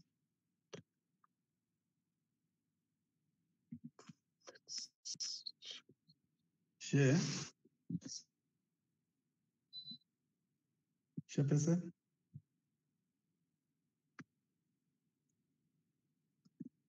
Chairperson. You can proceed, Tetesuela. Yes. Um, thank you, Chairperson, and and and and good morning to, to everyone. Let me also appreciate the the presentations uh, that that were made, and equally indicates that there is an emphasis on learner tracking system. But I thought that the SA-SAMS or LURITS, I stand to be corrected were probably designed to, to track learners. And again, the classroom attendance registers and quarterly registers are instruments that are meant to, to give feedback to the department to, to, to track learner uh, attendance as well. Perhaps what, what, what should probably be done it's uh, it's an emphasis on actually analyzing the information that are coming from those registers to actually determine who actually is coming to school in order to make a proper follow-up. But again, what I would also want to, to, to know is uh, what are the contextual factors beside what the NGO has dropped out, has, has provided. I, I can see that they talk about push factors, pull factors, and, all, and so on. But there's no mention of what these push or pull factors are. Probably I should ask of them to provide more information. Actually, what do they mean that these are the push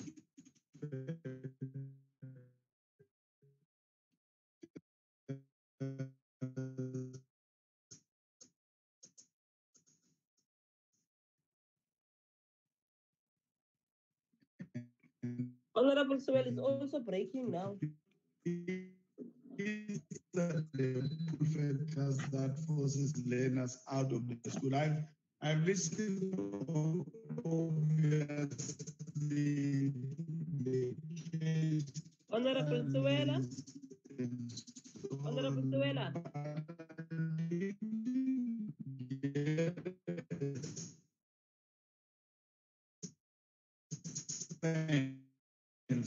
what actually these factors are. Probably if they can shed more light on that one. Thank you, Chair. Actually done, Chair.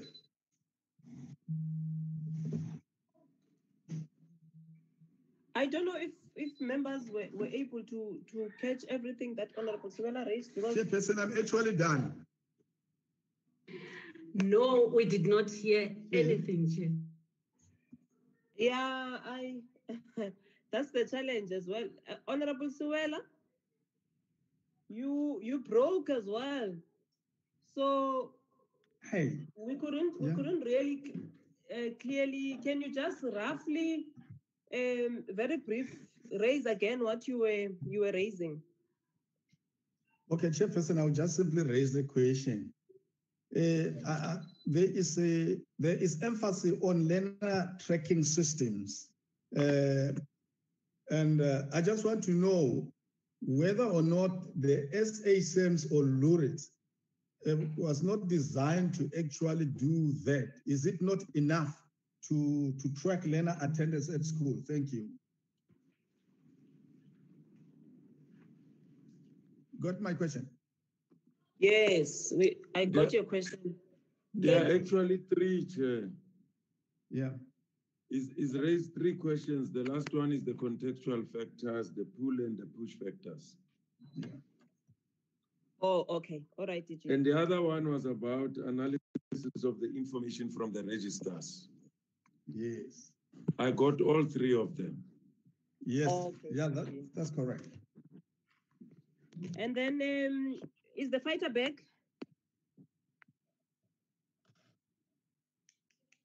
Not yet. Any other member or must we proceed?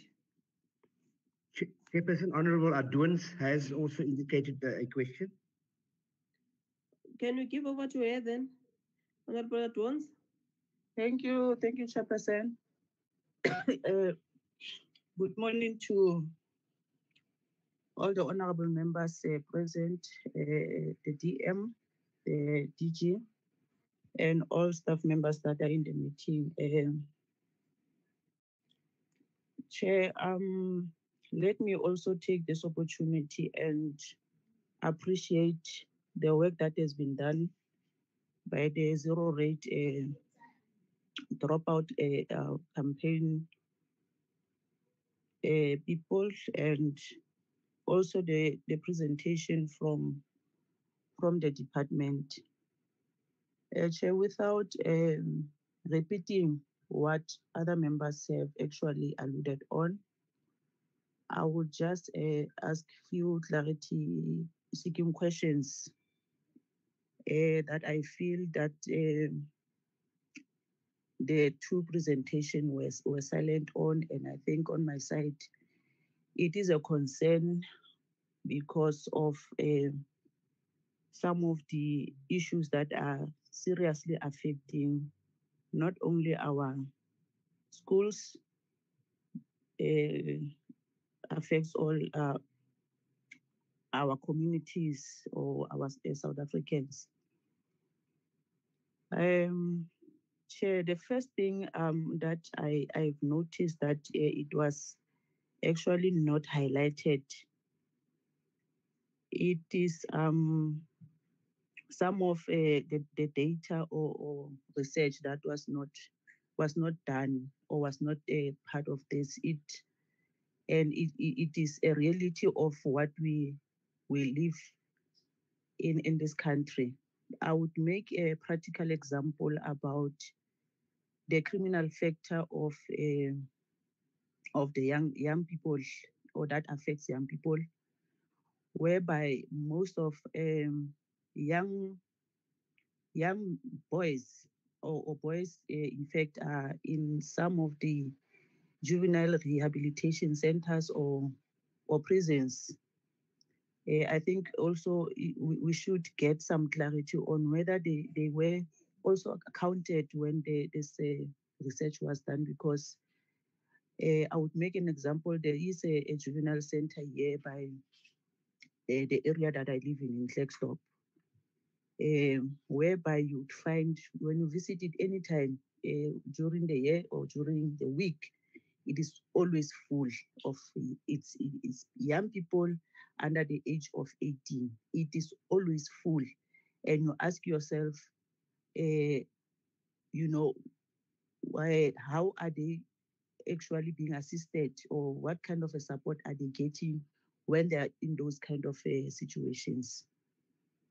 Um, that is the first uh, point that I, I, I, think I need clarity on. The second uh, point that I also uh, want to talk to, and I think this one, the, the Department of Education has tried to actually intervene. It is the, the poverty challenge that we have amongst uh, our poorest of the poor in uh, communities. Uh, that um, mainly in the past, uh, there was a lot of uh, dropouts because of that, that children could not even focus in school because sometimes they are hungry, sometimes they have to go leave school and go and find a job so that they can uh, uh, get something, you know, to, to, to, to provide for themselves or for their families. And also in some of the uh, child-headed families where there are orphans, where there are no uh, parents or parents has pa passed on, uh, it has been a challenge. And at, at some point or a level, I see the intervention of the school nutrition program has assisted in keeping learners in school. Of it, I, I think it should be appreciated and uh, also be supported, you know, uh, by all of us to say it must continue to you know, uh, to grow in all schools and maybe even like I think at some point we received a report that there were other stakeholders that now were coming in so that they, uh, the department would try to achieve in giving learners a breakfast and lunch uh, so that uh, they, they remain in, in, in school because some of them, those are the only meals that they have uh, for the whole day. Uh, both reports or presentations spoke about uh, failure and repetition being part of the, the, the, the dropout or leads to being uh, learners being dropping out.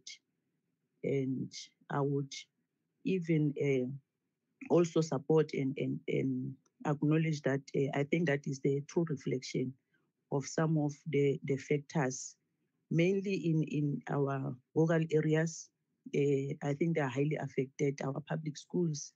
But what I'm not hearing is how is the uh, the, the, the, private schools uh, environment doing on the issue of the dropouts, if they do have at what level and percentage wise, and also what is it that the public schools can learn on on on assisting our own government schools to actually uh, Eh, eh, eh, improve on it, more especially on the issue of support. And Chair, I would also support the the individual learner tracking system. I think it's what the department should invest in, uh, more especially from uh, the foundation level, to know when a child is born, and where that child would end in school and all that. And I remember at some point, Chair, we, we deliberated on the issue when we're dealing with, I think it was a budget or something of the department to say, how do you track the resources that you invest in schools in a learner in particular to say this learner we have spent this much and this is uh, or maybe all through the year up until matric and this is how we are able to track and say we are making impact uh, as the education or not. And but also what uh, I think was not even mentioned in the report is the issue of uh, the learners that will enroll in January uh, that are from other countries. And immediately after that, they take material and they leave the country because in some of the countries, they, they must buy those materials and some are in the country illegal. So the time when certain documents are requested, then the, the child uh, will leave. So also they add into, I, I believe that they add into the number of, of, of dropouts. I think those are some of the improvements that I think it must be added. So as and when we, we as, as a portfolio committee recommend on what is it that's supposed to happen, at least we have that fully fleshed information with us to say uh, this is the proper guidance that we we need to recommend that uh, the department must take. But this one of the individual learner tracking system, I, I fully support, and also the uh, making it a KPI of the department. I think I would want to hear the department uh, in their response reflecting on that. I thank you very much, uh, Chairperson, and also thank you very much to our presenters. Thank you, Chair.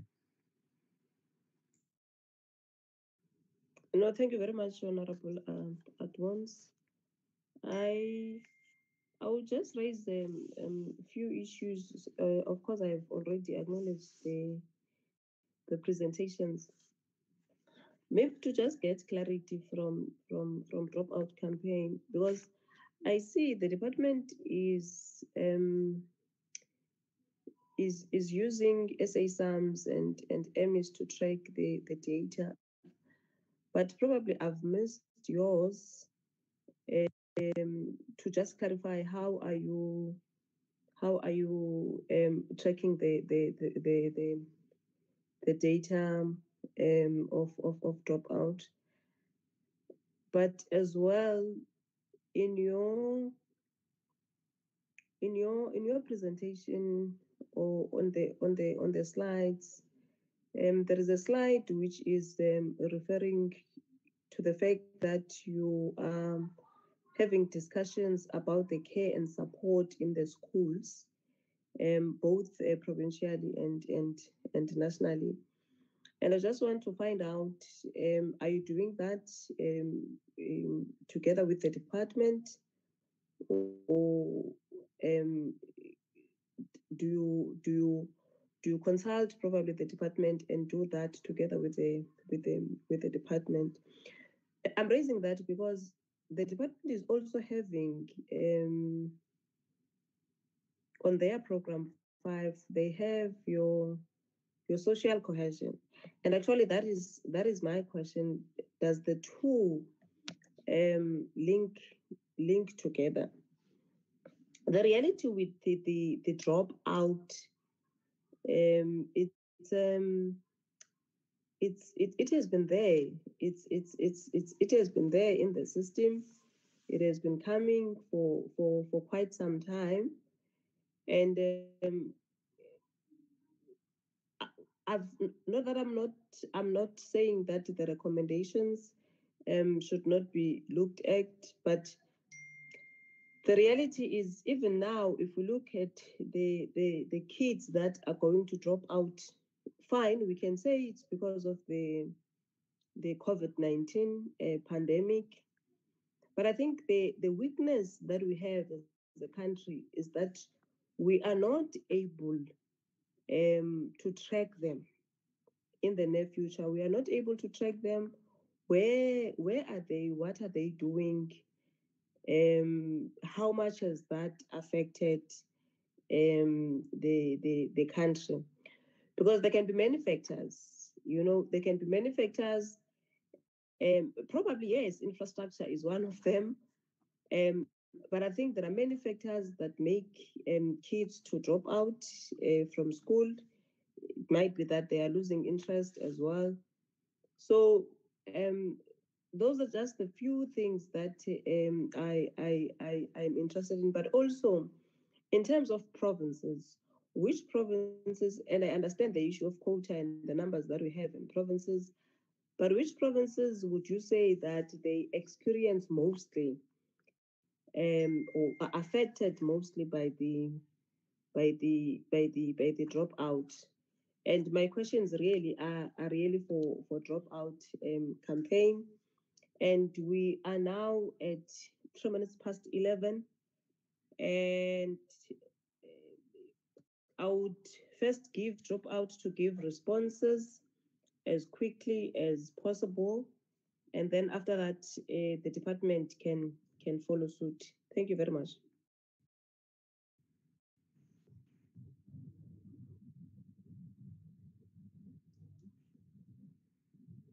Thank you, Chairperson. Honourable members, may I proceed with responses? Yes, please. Okay, that's fantastic. So I will address the responses in the in the order that um, I have them written down.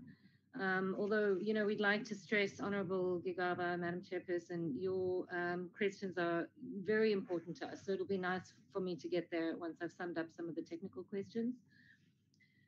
So I think, um, you know, the first thing I'd just like to stress is that um, as a point of clarity, Madam Chair and honourable members, I think our work is by no means uh, summative or qualitative, um, you know, summative work of, of the qualitative information. In fact, um, you know, all the material presented today uh, in all the presentations, we covered, studied and analyzed the same studies as those featured in the DBE presentation. So I think it's great news that we're all working, um, you know, across the same material and the same data and agenda. And I think I can't stress enough the importance of that point that we immediately aimed to work out the UNESCO definition. So, you know, we wanted to understand dropouts at each of the grade levels. And as such, our entire project was aimed towards monitoring school dropout um, at that level of the class, according to the UNESCO definition it was um, a challenge for us when we realized that that information wasn't available. Now, that's not to say there isn't the channels for it to be available or that people aren't making an effort. The dropout should be captured. There's space for it in SA SAMS. The problem is, is that the nature of dropout as an, indi- as an indicator is that it has to be completely coherent. Currently, if a child moves from the Eastern Cape to Johannesburg, he may or may not be captured as a dropout. There's just sort of gaps in the system. So I'm pleased that we're in agreement um, and that the that the correct definition is, is, absolutely key. So now I'll go to uh, Honorable Marchesi. It was a question about early learning, and I think it's something that was raised frequently in the department presentation as well. Again, we want to stress 100% that that um, you know that um, correlation between uh, success in early learning uh, correlating with successful school completion it's absolutely valid it, it is part of the reason why our multi-pronged approach includes a lot of similar work um, in methodology looking at reading for meaning um, it is absolutely critical um, and i think that i agree but at the same time you know the the thing we need to stress is that dropout can take place at any level you can have a learner with very very strong early learning uh, disengaging later on. Um, I think we need to be very cautious about considering dropout is a is a senior school problem that then we can plug in a teaching and learning intervention at the foundation. You know, also that these are not um, competing aims. If we can address the disengagement problem, then all the teaching and learning interventions, including the early learning interventions, can get better traction. And also, if we strengthen our data systems and our ability to assess how well children are doing at a very specific and pinpointed level, it will add value to the um, to the early learning uh, and, and reading programs, and in fact, any teaching and learning interventions. Then Honorable Suke, in fact, this is a query that was raised by Honorable Suke, Nkobo, uh, and King regarding the burden on teachers. Um, and absolutely, I think this is 100% uh, a valid concern. Um, you know the the one of the questions raised was um, learners with special learning needs and i think it there is absolutely no doubt that teachers are burdened but what we're talking about here is building a system which will enable them to work smart and not hard i think in the transitionary period there's definitely a level of support that is required um, however the hopes are that once you have sufficient data on learners you can save teachers a lot of time in the trial and error of having to diagnose problems. So, for example, if you have an excellent referral mechanism with a functional school based support team, it is not going to be the teacher's responsibility to, you know, uh, have the trial and error in the classroom of trying to identify what the problem is. She can refer learners for the support that they require, and basically she can she can target her attentions, and she can get on with the, or he he or she could get on with the with the business of of teaching and learning. But again, you know, we don't underestimate that this is a major undertaking and that there is an element of support that will be required, which obviously has um, budgetary implications. Then I think um, I'll come back to the one on repetition. Uh, linked to that as well is um, Honorable King, uh, your comment about the learner support agents. So this is um, very, this is a, a, valid question about the role of learner support agents. Um, what we, uh, the one of the case studies we presented to you was of the National Association of Child and Youth Care Workers who worked primarily in the Mgungundlovu district. And their model was about coupling um, their child and youth care workers, which is an excellent uh, qualification that's been developed by that organization and which really worked very well when applied in the um, social development context. So they coupled their child and youth care workers with an LSA in every school that they worked in. Um, you know, there is a kind of a double trauma that takes place, people offering psychosocial support, and particularly in schools. So we found that that coupling, it gave this extra element of human resource, which enabled both the child and youth care worker and the LSA to enrich the work that they did. The child and youth care worker was involved, um, you know, in a lot of the one-on-one interventions, which we find are very necessary. And the learner support agent would um, bring in this additional element of enriching activities, um, you know, which also help to improve morale and just, um, you know, build build camaraderie and a sense of safety amongst the children. So there was a lot of, um, you know, not as intensive um, one-on-one work, but also sporting activities and fun after-school activities. So LSAs, any of those kinds of models, any of those kinds of people that we have in school, I would go so far as to say you could do a kind of a three three member team of an LSA, um, an administrator, because that the data element is difficult, and uh, potentially, you know, some uh, child and youth care worker or a secondment from DSD, some some kind of model like that. Um, then, sorry, my, my handwriting is a little bit messy here. Just give me one moment.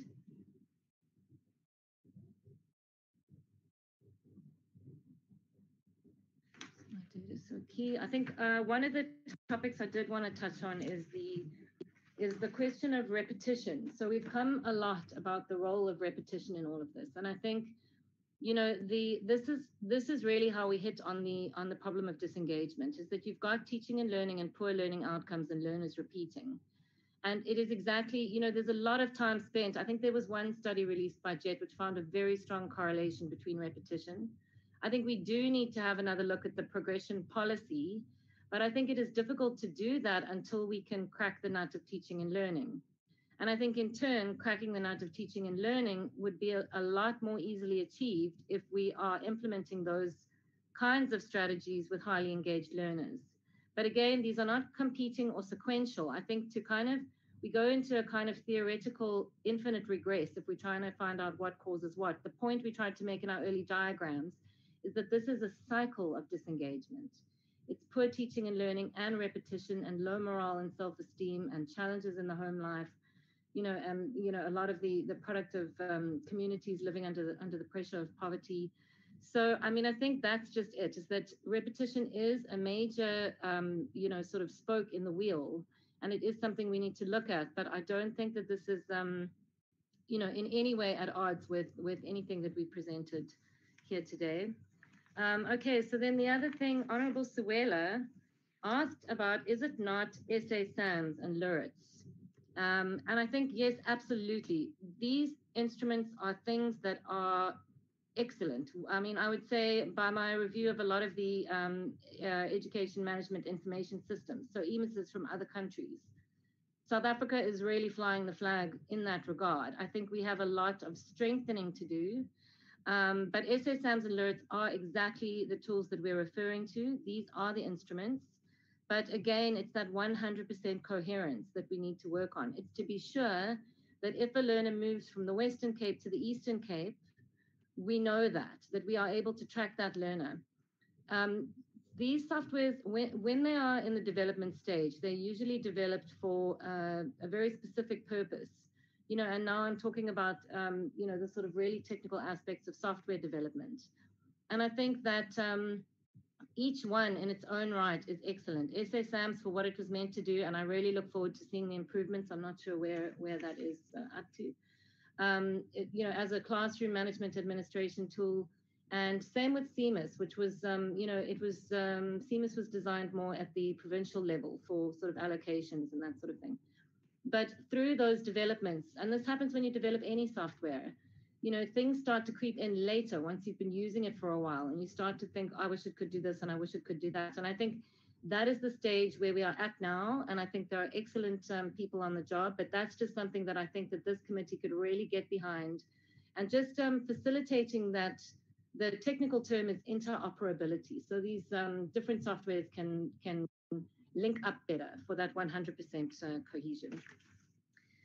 And then um, with regards to Honorable Suela's question about the contextual factors and the push out and uh, pull out factors. So um, I will just quickly share my screen. Um, so this is one of the um, papers that was produced as part of the, um, the campaign. This was a piece of work uh, conducted by um, a, a, very highly esteemed uh, researcher. It is a a sort of comprehensive um, review of all the different causes and where they come from. So you'll see a lot of the, the papers that are referred to elsewhere are referenced here. And this will basically give you a very strong sense of how these how these factors were analyzed, how we managed to pull it together from really what is a comprehensive uh, local and international, um, you know, a set of, of research papers, and it really breaks it down into the different categories. We've got family factors, individual factors, school factors. Um, this is available, um, and I will definitely ask my team to uh, allow this um, gathering to have uh, access to that uh, more directly. Um,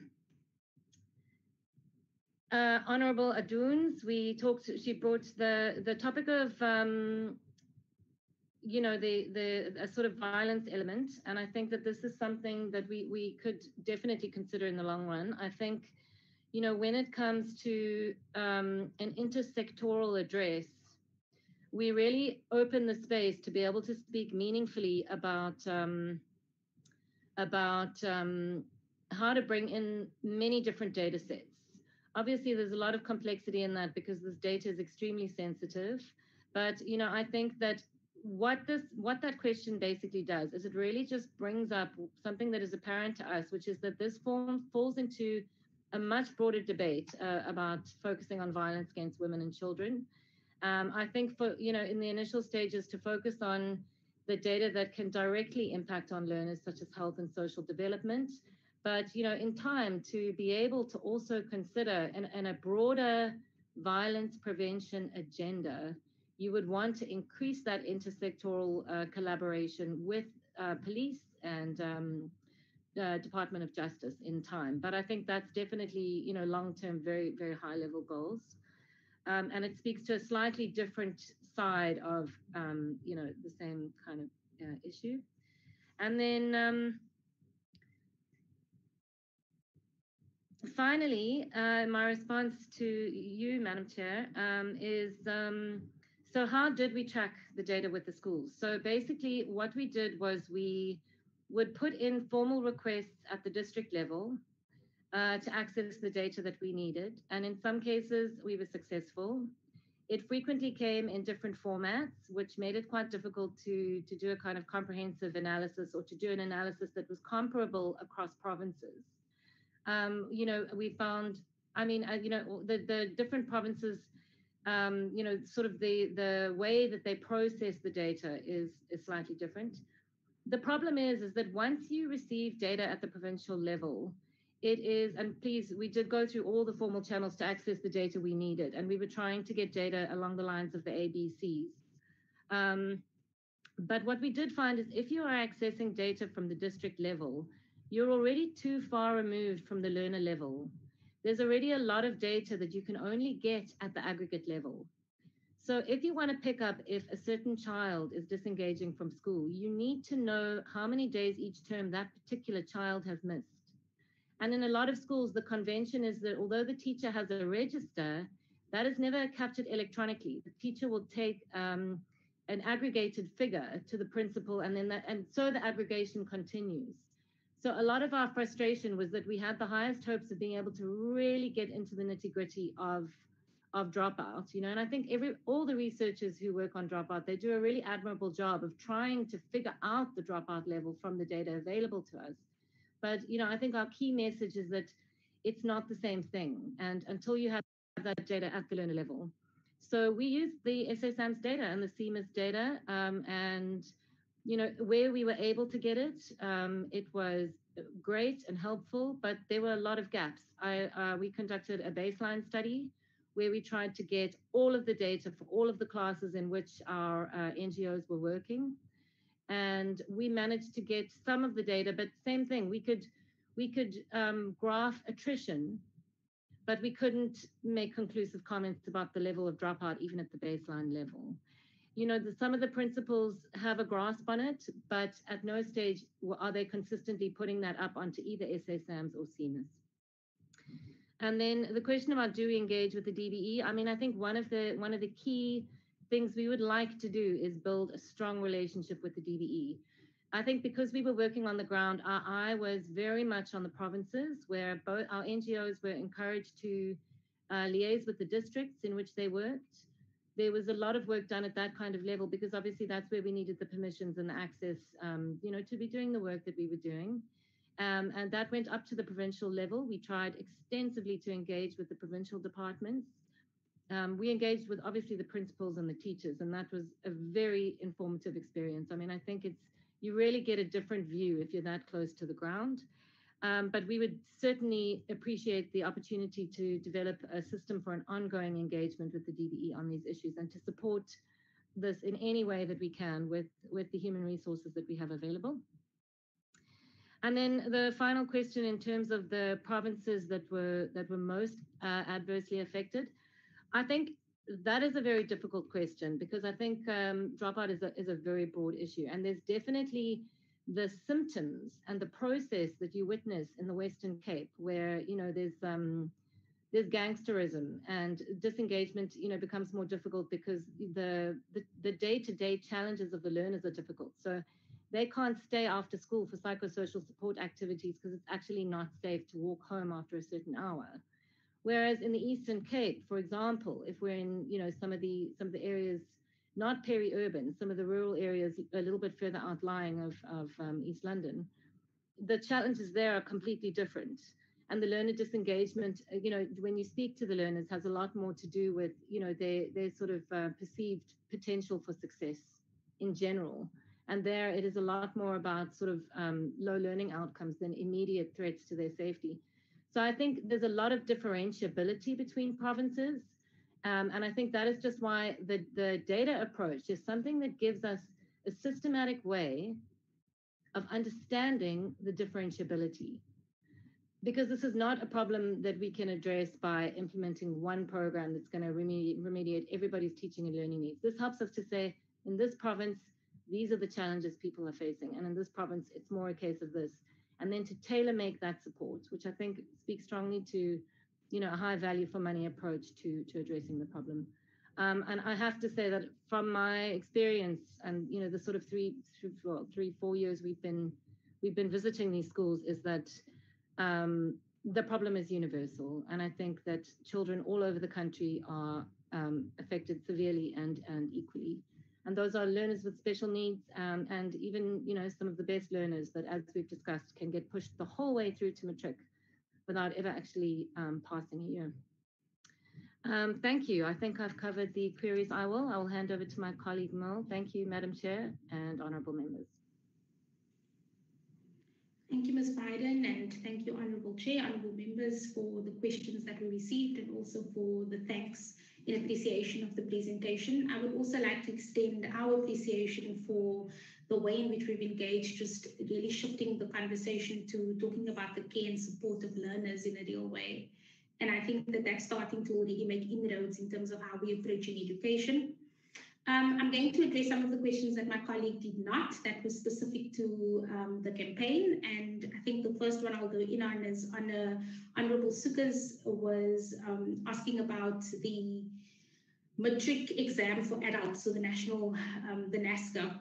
Um, and we're currently actually in the process of working on a modeling research exercise with um, Dr. Martin Gustafsson on the matric fringe and trying to model um, what a review of the previous success of the second chance program, but also access that um, our adult component of learners have to, to that process currently. Um, our understanding and experience from the ground is that people find it extremely difficult, young people find it extremely difficult to navigate that space in terms of access. Um, and are also still competing with challenges that they face in terms of um, in their communities and and and and and and accessing the appropriate mechanisms or systems to be able to, to be successful. So understanding that deeply would be um, very important. And we'd be very happy to share that report with you, to share our findings once that modeling and research is complete, um, and also to come back and present that to you if you'd, if, if you'd wish us to.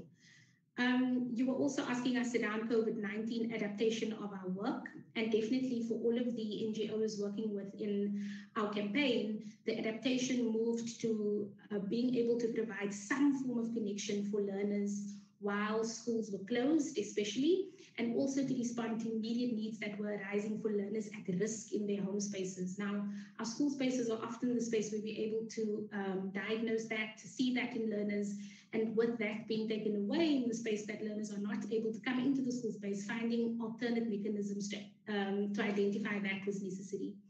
Um, and so a lot of at-home learning strategies were put into place. For example, you did ask um, Honorable Suka specifically in the Western Cape We've been working with the Western Cape Education Department quite closely in developing an at-home learning strategy for learners at home and supporting parents on how to engage with learners um, in terms of facilitating learning material, but also how to protect the mental health of learners while they're at home.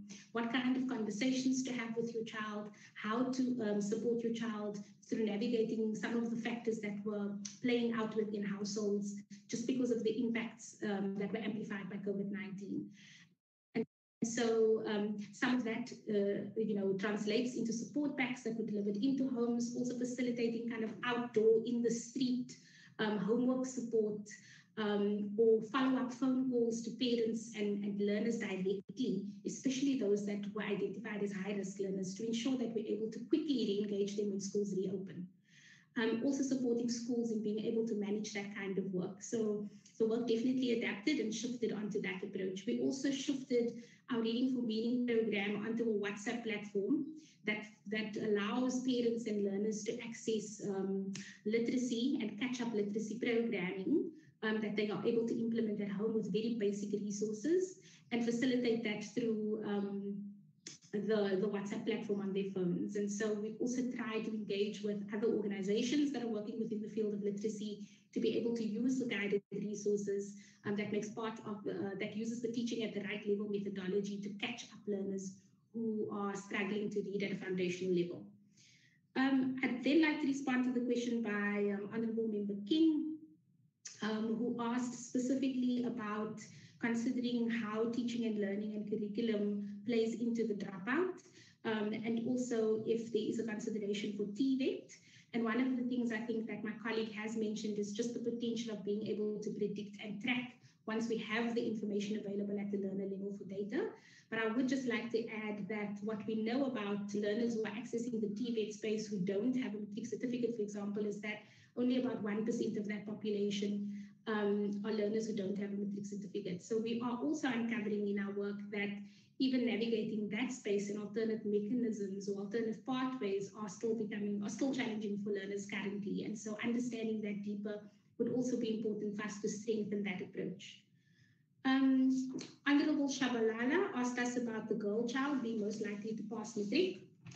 And that was presented by DBE and definitely reflected in the research. And if we do some analysis in terms of the genders that are passing through the system and completing schooling um, and completing schooling, Um, what we do know, though, is that the elements or the impacts that impact this engagement, or the factors that impact this engagement for male children and girl children are different. And therefore, it is so important for us to understand the factors at an individual level so that the interventions we put in place are successful. Um, for example, when we were working in the KwaZulu-Natal province um, with the NACCW, we found the issue of pregnancy being, you know, very um, high and girl children becoming pregnant, and for that reason dropping out of school. The intervention was linked to understanding what the issue was with the, uh, the education around safe sex, but also the education around contraception. And the issue was actually access and learners feeling um, that clinic services were not youth friendly enough for them to use. Um, and, and through the work of this intervention and collaborating with the health sector in that space, there has been a decline in the pregnancy prevalence within the schools that that, um, that, that NGO was working in. And so girl children are able to retain their uh, grip on education. But again, I will say that it's important for us to understand at the learner level what is impacting the, the, the learners uh, from the different genders and from the different um, contexts that they are coming from. Um, and then we had the question from Honorable Edwins that was just reflecting on the criminal factor that affects young people particularly young boys. And I think um, my colleague touched on this um, when she spoke about the interoperability of a data-driven system that will allow us to respond in a way that pulls in all of the different departments in addressing the interventions we need for our learners. I really want to echo that here and just to say that there is such an opportunity that exists in the universal access we have to children within our country within the school space but also to be able to address and really affect change at a societal level for the impacts that um, that that really plays out when a learner doesn't have grip on, on an opportunity, and that we've seen that disengagement definitely speaks into that. And so this conversation around um, creating a caring environment, a caring response, a psychosocially informed response that is based in evidence, that is fiscally responsible, and that holds us accountable for every learner within our school space, regardless of where they are, in which grade, um, makes it something that is a more comprehensive approach to addressing even secondary risk factors like crime um, that learners could be engaged in, um, and things like gender-based violence, aggression, violence, and trauma, which we know are cycles of trauma that play out in learners' lives. And so encouraging today that we are starting to have that conversation and really understanding that in order to be making the kind of impact we need to see at a society level, we need to start here first. Um, I think those were all the questions that were directly addressed to us. Um, thank you very much, Madam Chair and honourable members. Thank you very much. Can I now allow the department, DM? Chair, I don't know if I'm audible. My network is very poor. You are, you are, DM. Okay, thank you, Chair. Uh, want to, as I indicated, want to appreciate the presentation by the zero rates uh, campaign, dropout campaign. Chair, like HOD indicated, would have loved that they should have come to the department, that we share notes, we share uh, expertise and practices. Then that was going to be better than for us to meet for the first time with them in the portfolio committee. But uh, the fact that we have met today and they know that what the job that they are doing is led by Dr. Taylor, from now onwards, they will uh, make an appointment, sit down with him. If if maybe they find a challenge, then HOD is there whose hands are always open. Chair, I have a very serious concern to members of the portfolio committee because each time questions are asked, somebody will say, hey, it's unfortunate the minister is not here. Unfortunately, the minister is not here. And if um if the minister is not coming to a meeting, should the deputy minister not come? Because I take offense. I'm part of the ministry. And when I'm there, it's like the minister is there. There's nothing that will be discussed, which I cannot minister, we talk, I know what is happening in the department. And if people keep on complaining, especially Honorable Marchesi, that yeah, it's unfortunate the minister is not here. An, and when the TPM is, is there, I will stop coming to the portfolio committee as the deputy minister even if the minister is not around. That's the concern that I want to raise. But Chair, uh, th- there are many questions asked which uh, the team Zero Rate uh, Dropout uh, campaign have answered, which some were for the department. But issues of dropout, Chairperson, cannot, there can be no one who has a, a solu- one solution to that because the reasons vary. And even in provinces, even in districts, the situations are not the same. So if we don't work together, all of us and all other stakeholders and the community, we are not going to win the zero rate dropout because this needs even other departments. It needs your police, it needs your social development, because some of the dropouts are as a result of drug abuse. I'm not saying that uh, there are no dropouts that maybe as a result of a school, but in schools, there is a relationship between the school and the parents. But in the event where parents disappear, the school will only have the data that this child is no longer coming, but they will not know exactly where is the child because the, the school or the department cannot account for the whereabout of the child if the child the child has disappeared and the parents are not coming forward and uh, we can't even find them. Because if we say now we change that uh, the department must go all out and, and, and, and trace all the learners who are in drug abuse, who are in criminal activities, who are everywhere. It will be very difficult. And there was an issue about psychosocial support after COVID 19. And now, where we are, we still take it, we're still in because we're still under the state of disaster. We're still in COVID 19 and we're not yet out. And we, we, we keep on saying, as the department, we behave like we're still in level five. And even in schools, that's why we keep social distance. That's why we support our teachers and learners on psychosocial support. And that will continue even beyond the COVID until when we are stable. Still, we are living in the new normal. We are not yet closer to living in, in, in, in, in normal. But uh, I want to give the HOD, the DG, to, to, to, to respond on other administrative issues. Thank you. DG, over to you, sir.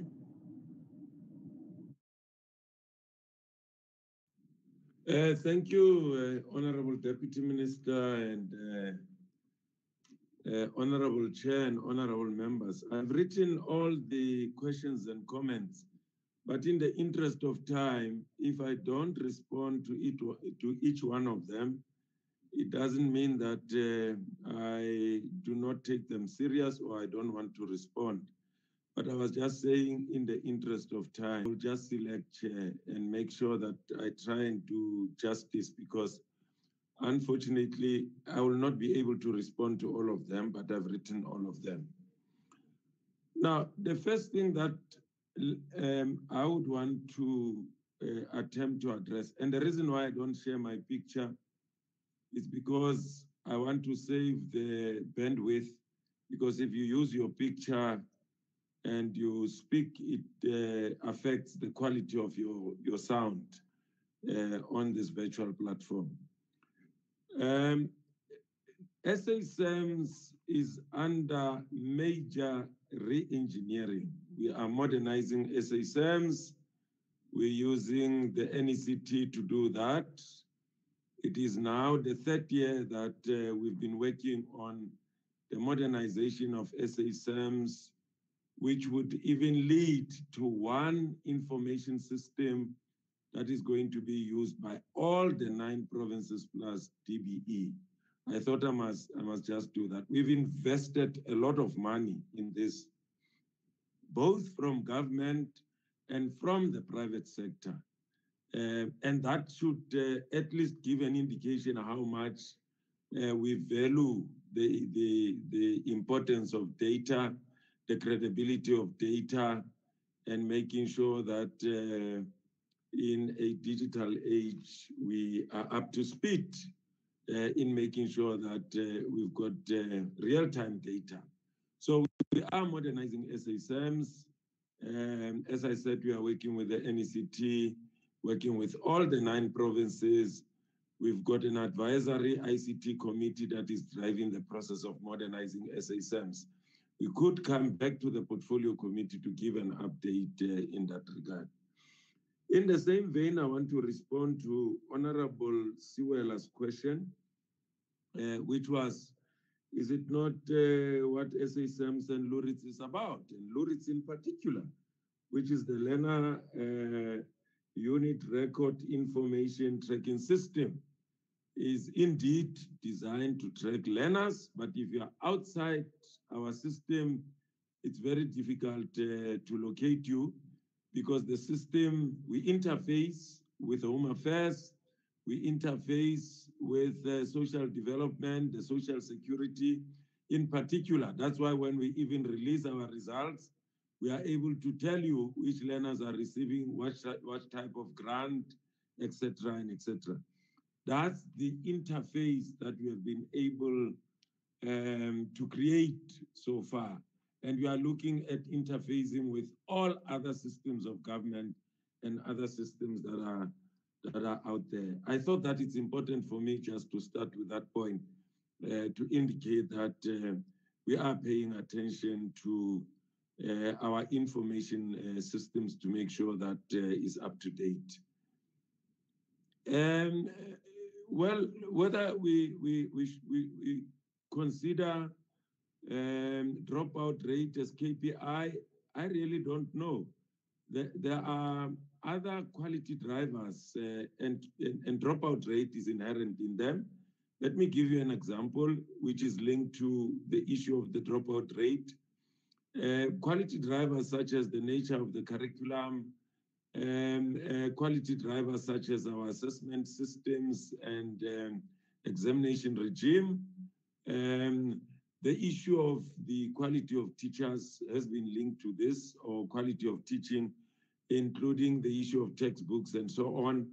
Those are quality drivers that uh, we also use in the system. Whether the issue of dropout rate could be inherent in those, or some of the indicators that are linked to um, either your your your um, throughput um, or yeah your throughput or your completion rate uh, dropout rate could be inherent in, in, in them. Whether you want to deal with it as a single kpi i'm not sure if it's inherit uh, it's inherited it's inherited um, in in in any of the quality drivers that i've referred to uh, the issue of um, dropout rate due to COVID-19, I think we have presented to the portfolio committee. We can uh, uh, come back again. We are collecting data on learners that are not accounted for ever since the reopening of schools in our one-on-one meetings with uh, uh, provinces, which are starting tomorrow for this next round. We are collecting that data and we are working on improving the uh, credibility of that data. So we are collecting data on learners who are not accounted for um, ever since the reopening of schools. Um, and there was an issue about um, uh, what are we doing in ECD and the foundation phase in terms of making sure that those learners uh, are able to perform in the fundamentals of the uh, the subjects or the learning areas that they are offering. We're doing a whole lot of things, such as focusing on numeracy and literacy. Um, uh, but also I need to indicate, uh, Chair, that uh, maybe what we might have to do, as Honorable Siwela advised, is that uh, we need to analyze the data much more closely and, and, and move towards digitizing, which we have done, um, in terms of our business processes, we have digitized. Maybe in terms of issues such as the register, the attendance rate, and all of those, we need to digitize them so that uh, information becomes easily available. Uh, what the president uh, has indicated, um, uh, in fact, which will come out very soon after the cabinet Lekgotla, is that we will be appointing um, close to about 900,000 uh, additional young people to the system, particularly your quintile one to three schools. And, and some of these young people would be used to help us uh, check up our systems and collect uh, this data that I'm referring to. Um, and therefore, I think it will go a long way in, in giving us real-time data. With just the click of the button, we'll be able to access data that uh, we, we desperately need. Um, and I think after Cabinet Lekgotla from government, uh, those details in terms of, that's why when uh, the president spoke yesterday, he referred to as uh, uh, some of the job creation uh, initiatives that are going to cover sectors such as uh, basic education. We'll be getting an average of about up to 900,000 young people who be, will be employed uh, in, in, in education only.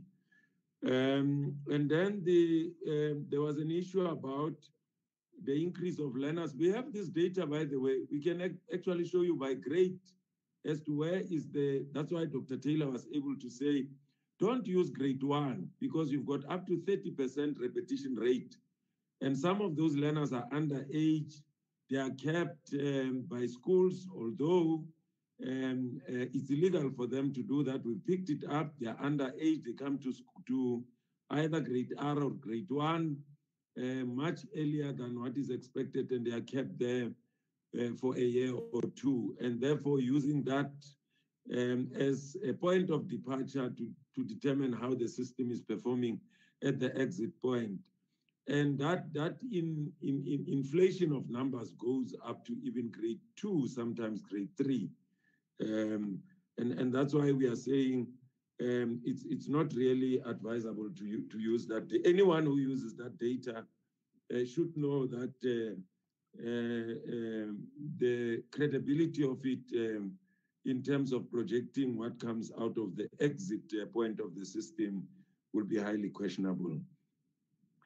And then the multiple exam uh, opportunities, um, yes, indeed, it's one of them. And I also want to say to Honorable King, although uh, I hear you, Honorable King, about the national progress progression policy uh, that says that learners should not spend more than four years in a phase. Countries such as the UK and others is automatic progression.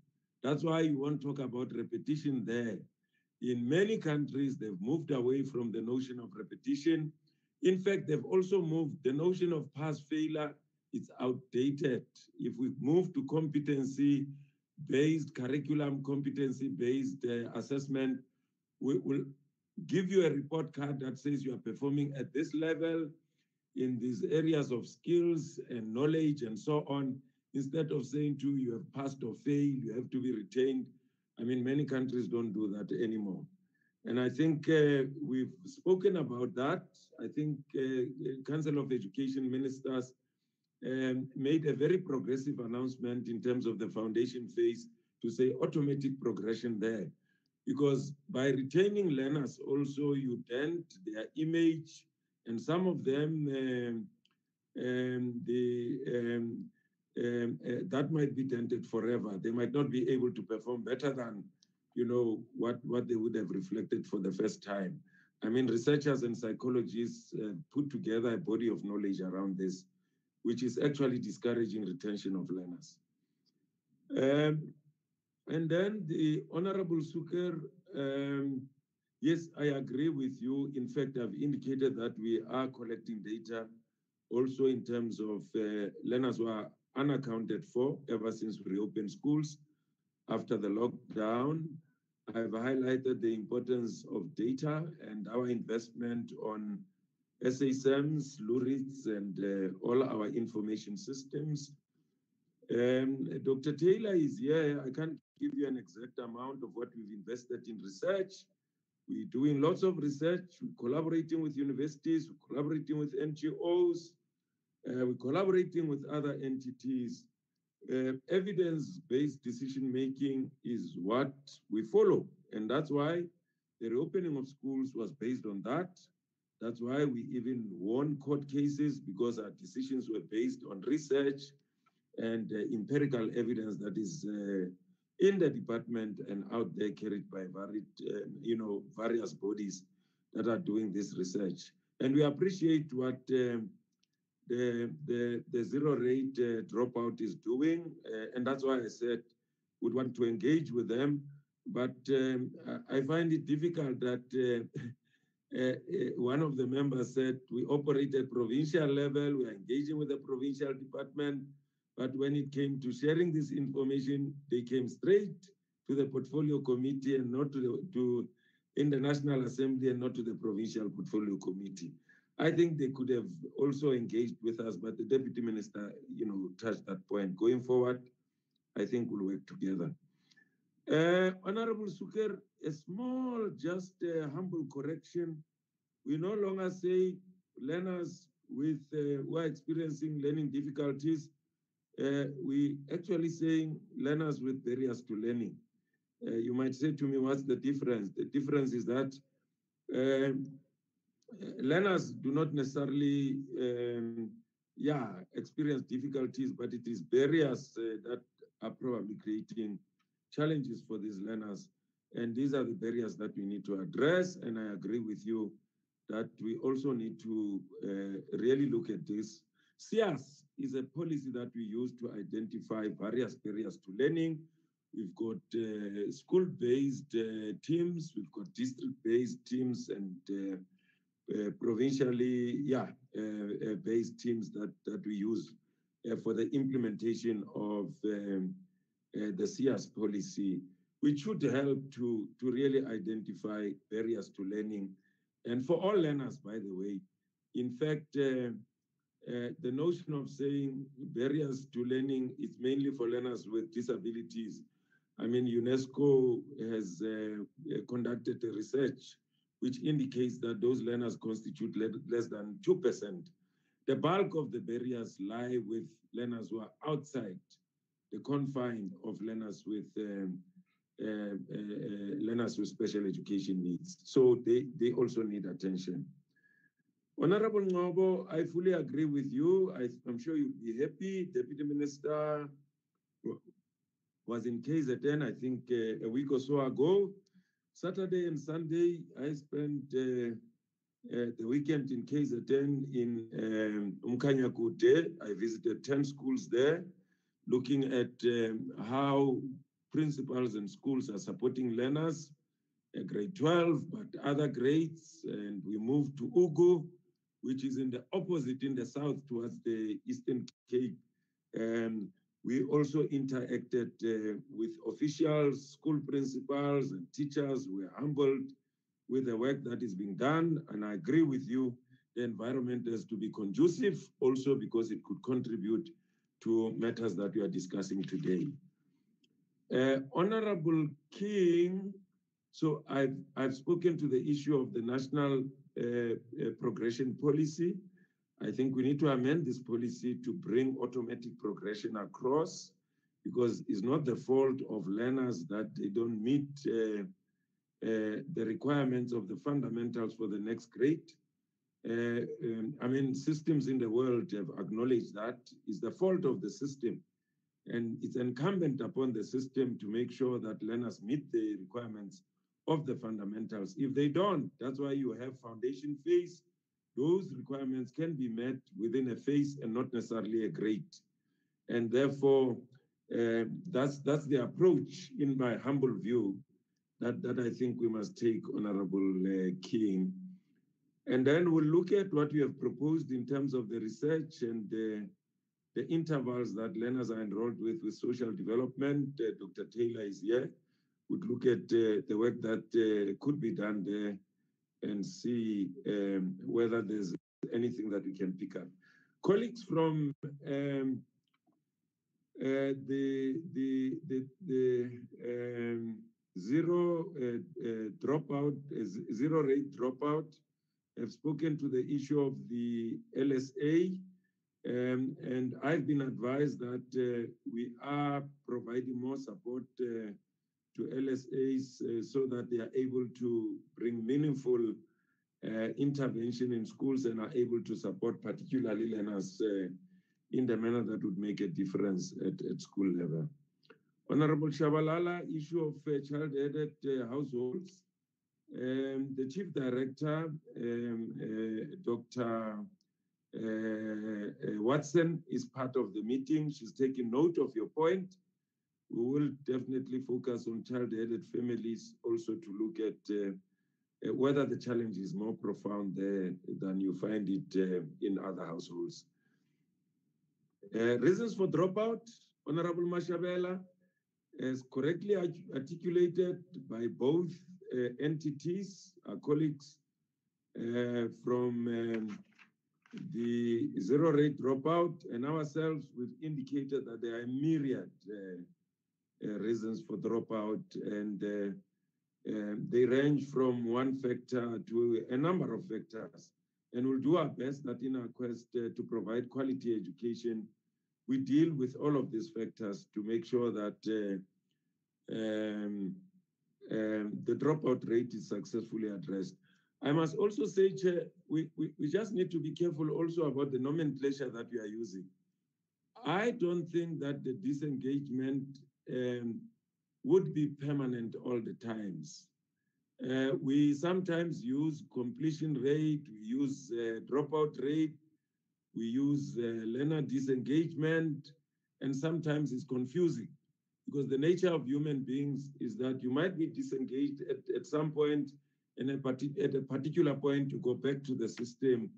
And, and I think we might need to uh, consider using a nomenclature that is much more consistent, which would suggest that you've been completely lost uh, from the system.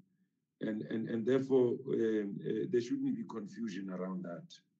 Honorable Siwela, I've, I've made comments about uh, you, I think the issue of the contextual factors has been uh, addressed by colleagues. I've spoken to the two points that you had raised. Uh, Honorable Adoons learners in conflict with the law, um, they are accounted by us as learners who are still in the system. Anyone who would um, do a survey and uh, miss this in the analysis, I agree with you. Uh, it might be a gap.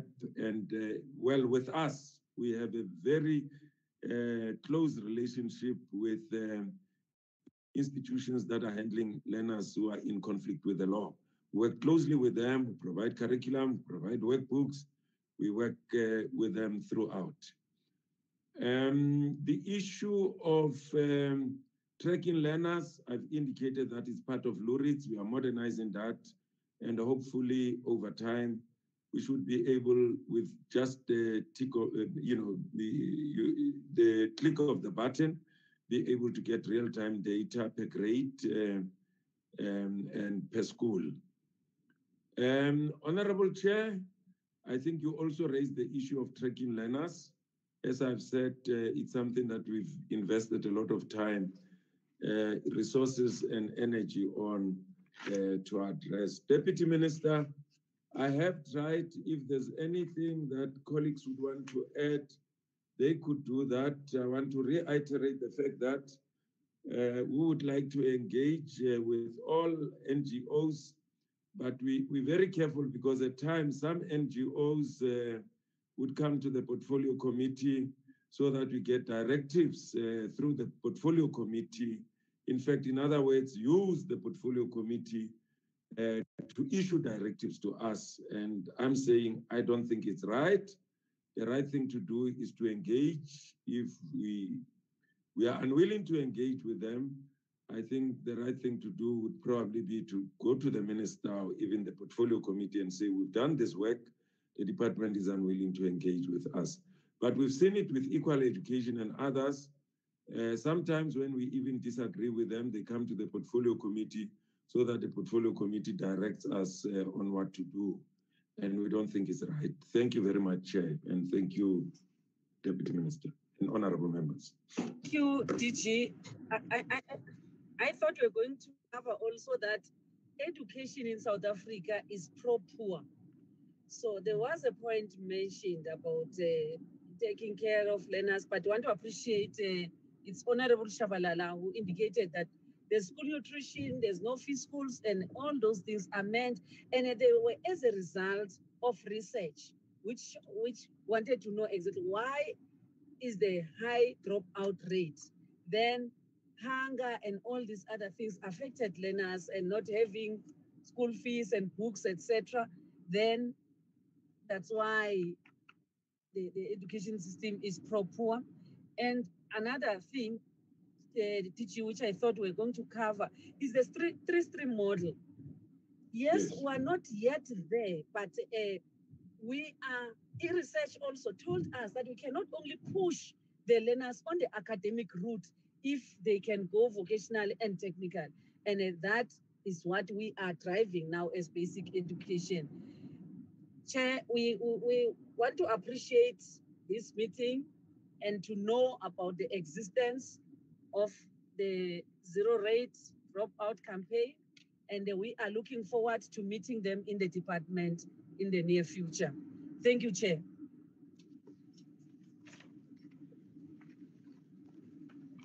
Thank you very much, um, DMGG, and also to the to the dropout um, for the for the responses. We are really uh, behind time. It's twelve o'clock now on my on my watch. Um, but like I've said, thank you very much um, to all of you. And um, hopefully, um, moving forward, there will be at least an interaction um, between the, the the campaign and and the department, um, so that at least there is a bit of, of communication and how can the two um, deal with issues of um, how do we how do we move forward. But in the interest of time, I think let me release both of you um, from the meeting so that the committee can um, stay behind and be able to to deal with with other matters. Um, thank you very much. Including the matter of the DM. Thank you. Chairperson. Hey, can I can I make just one uh, comment before they leave? Yes, Honorable Adoons. Uh, thank you very much, Chair. I think we'll be doing a very serious injustice if we are not going to recognize and appreciate the work that has been done by teachers as they were celebrated uh, last, uh, I mean, yesterday. Uh, I just wanted only to pass that message that uh, we also celebrate and appreciate all the teachers uh, in, in our country and in the world. But also, I, I think the DM must not take uh, Honorable Marchesi serious because there is no uh, uh, deputy, min- a shadow deputy minister. It's only a shadow minister, so she competes with the uh, the minister. So must not take her serious. that was on the lighter note. Bye, Chair. Thank you, thank you, DM. No, I think that is that is uh, accepted. Thank you very much, um, um, Honorable Adoons, for that. Thank you very much, uh, department and the campaign. We are releasing Thank you you, now. Chair. Thank you, Thank you, Chair. Chair. Bye bye. Thank you, Chair. Honorable Thank Marchesi, bye. bye bye.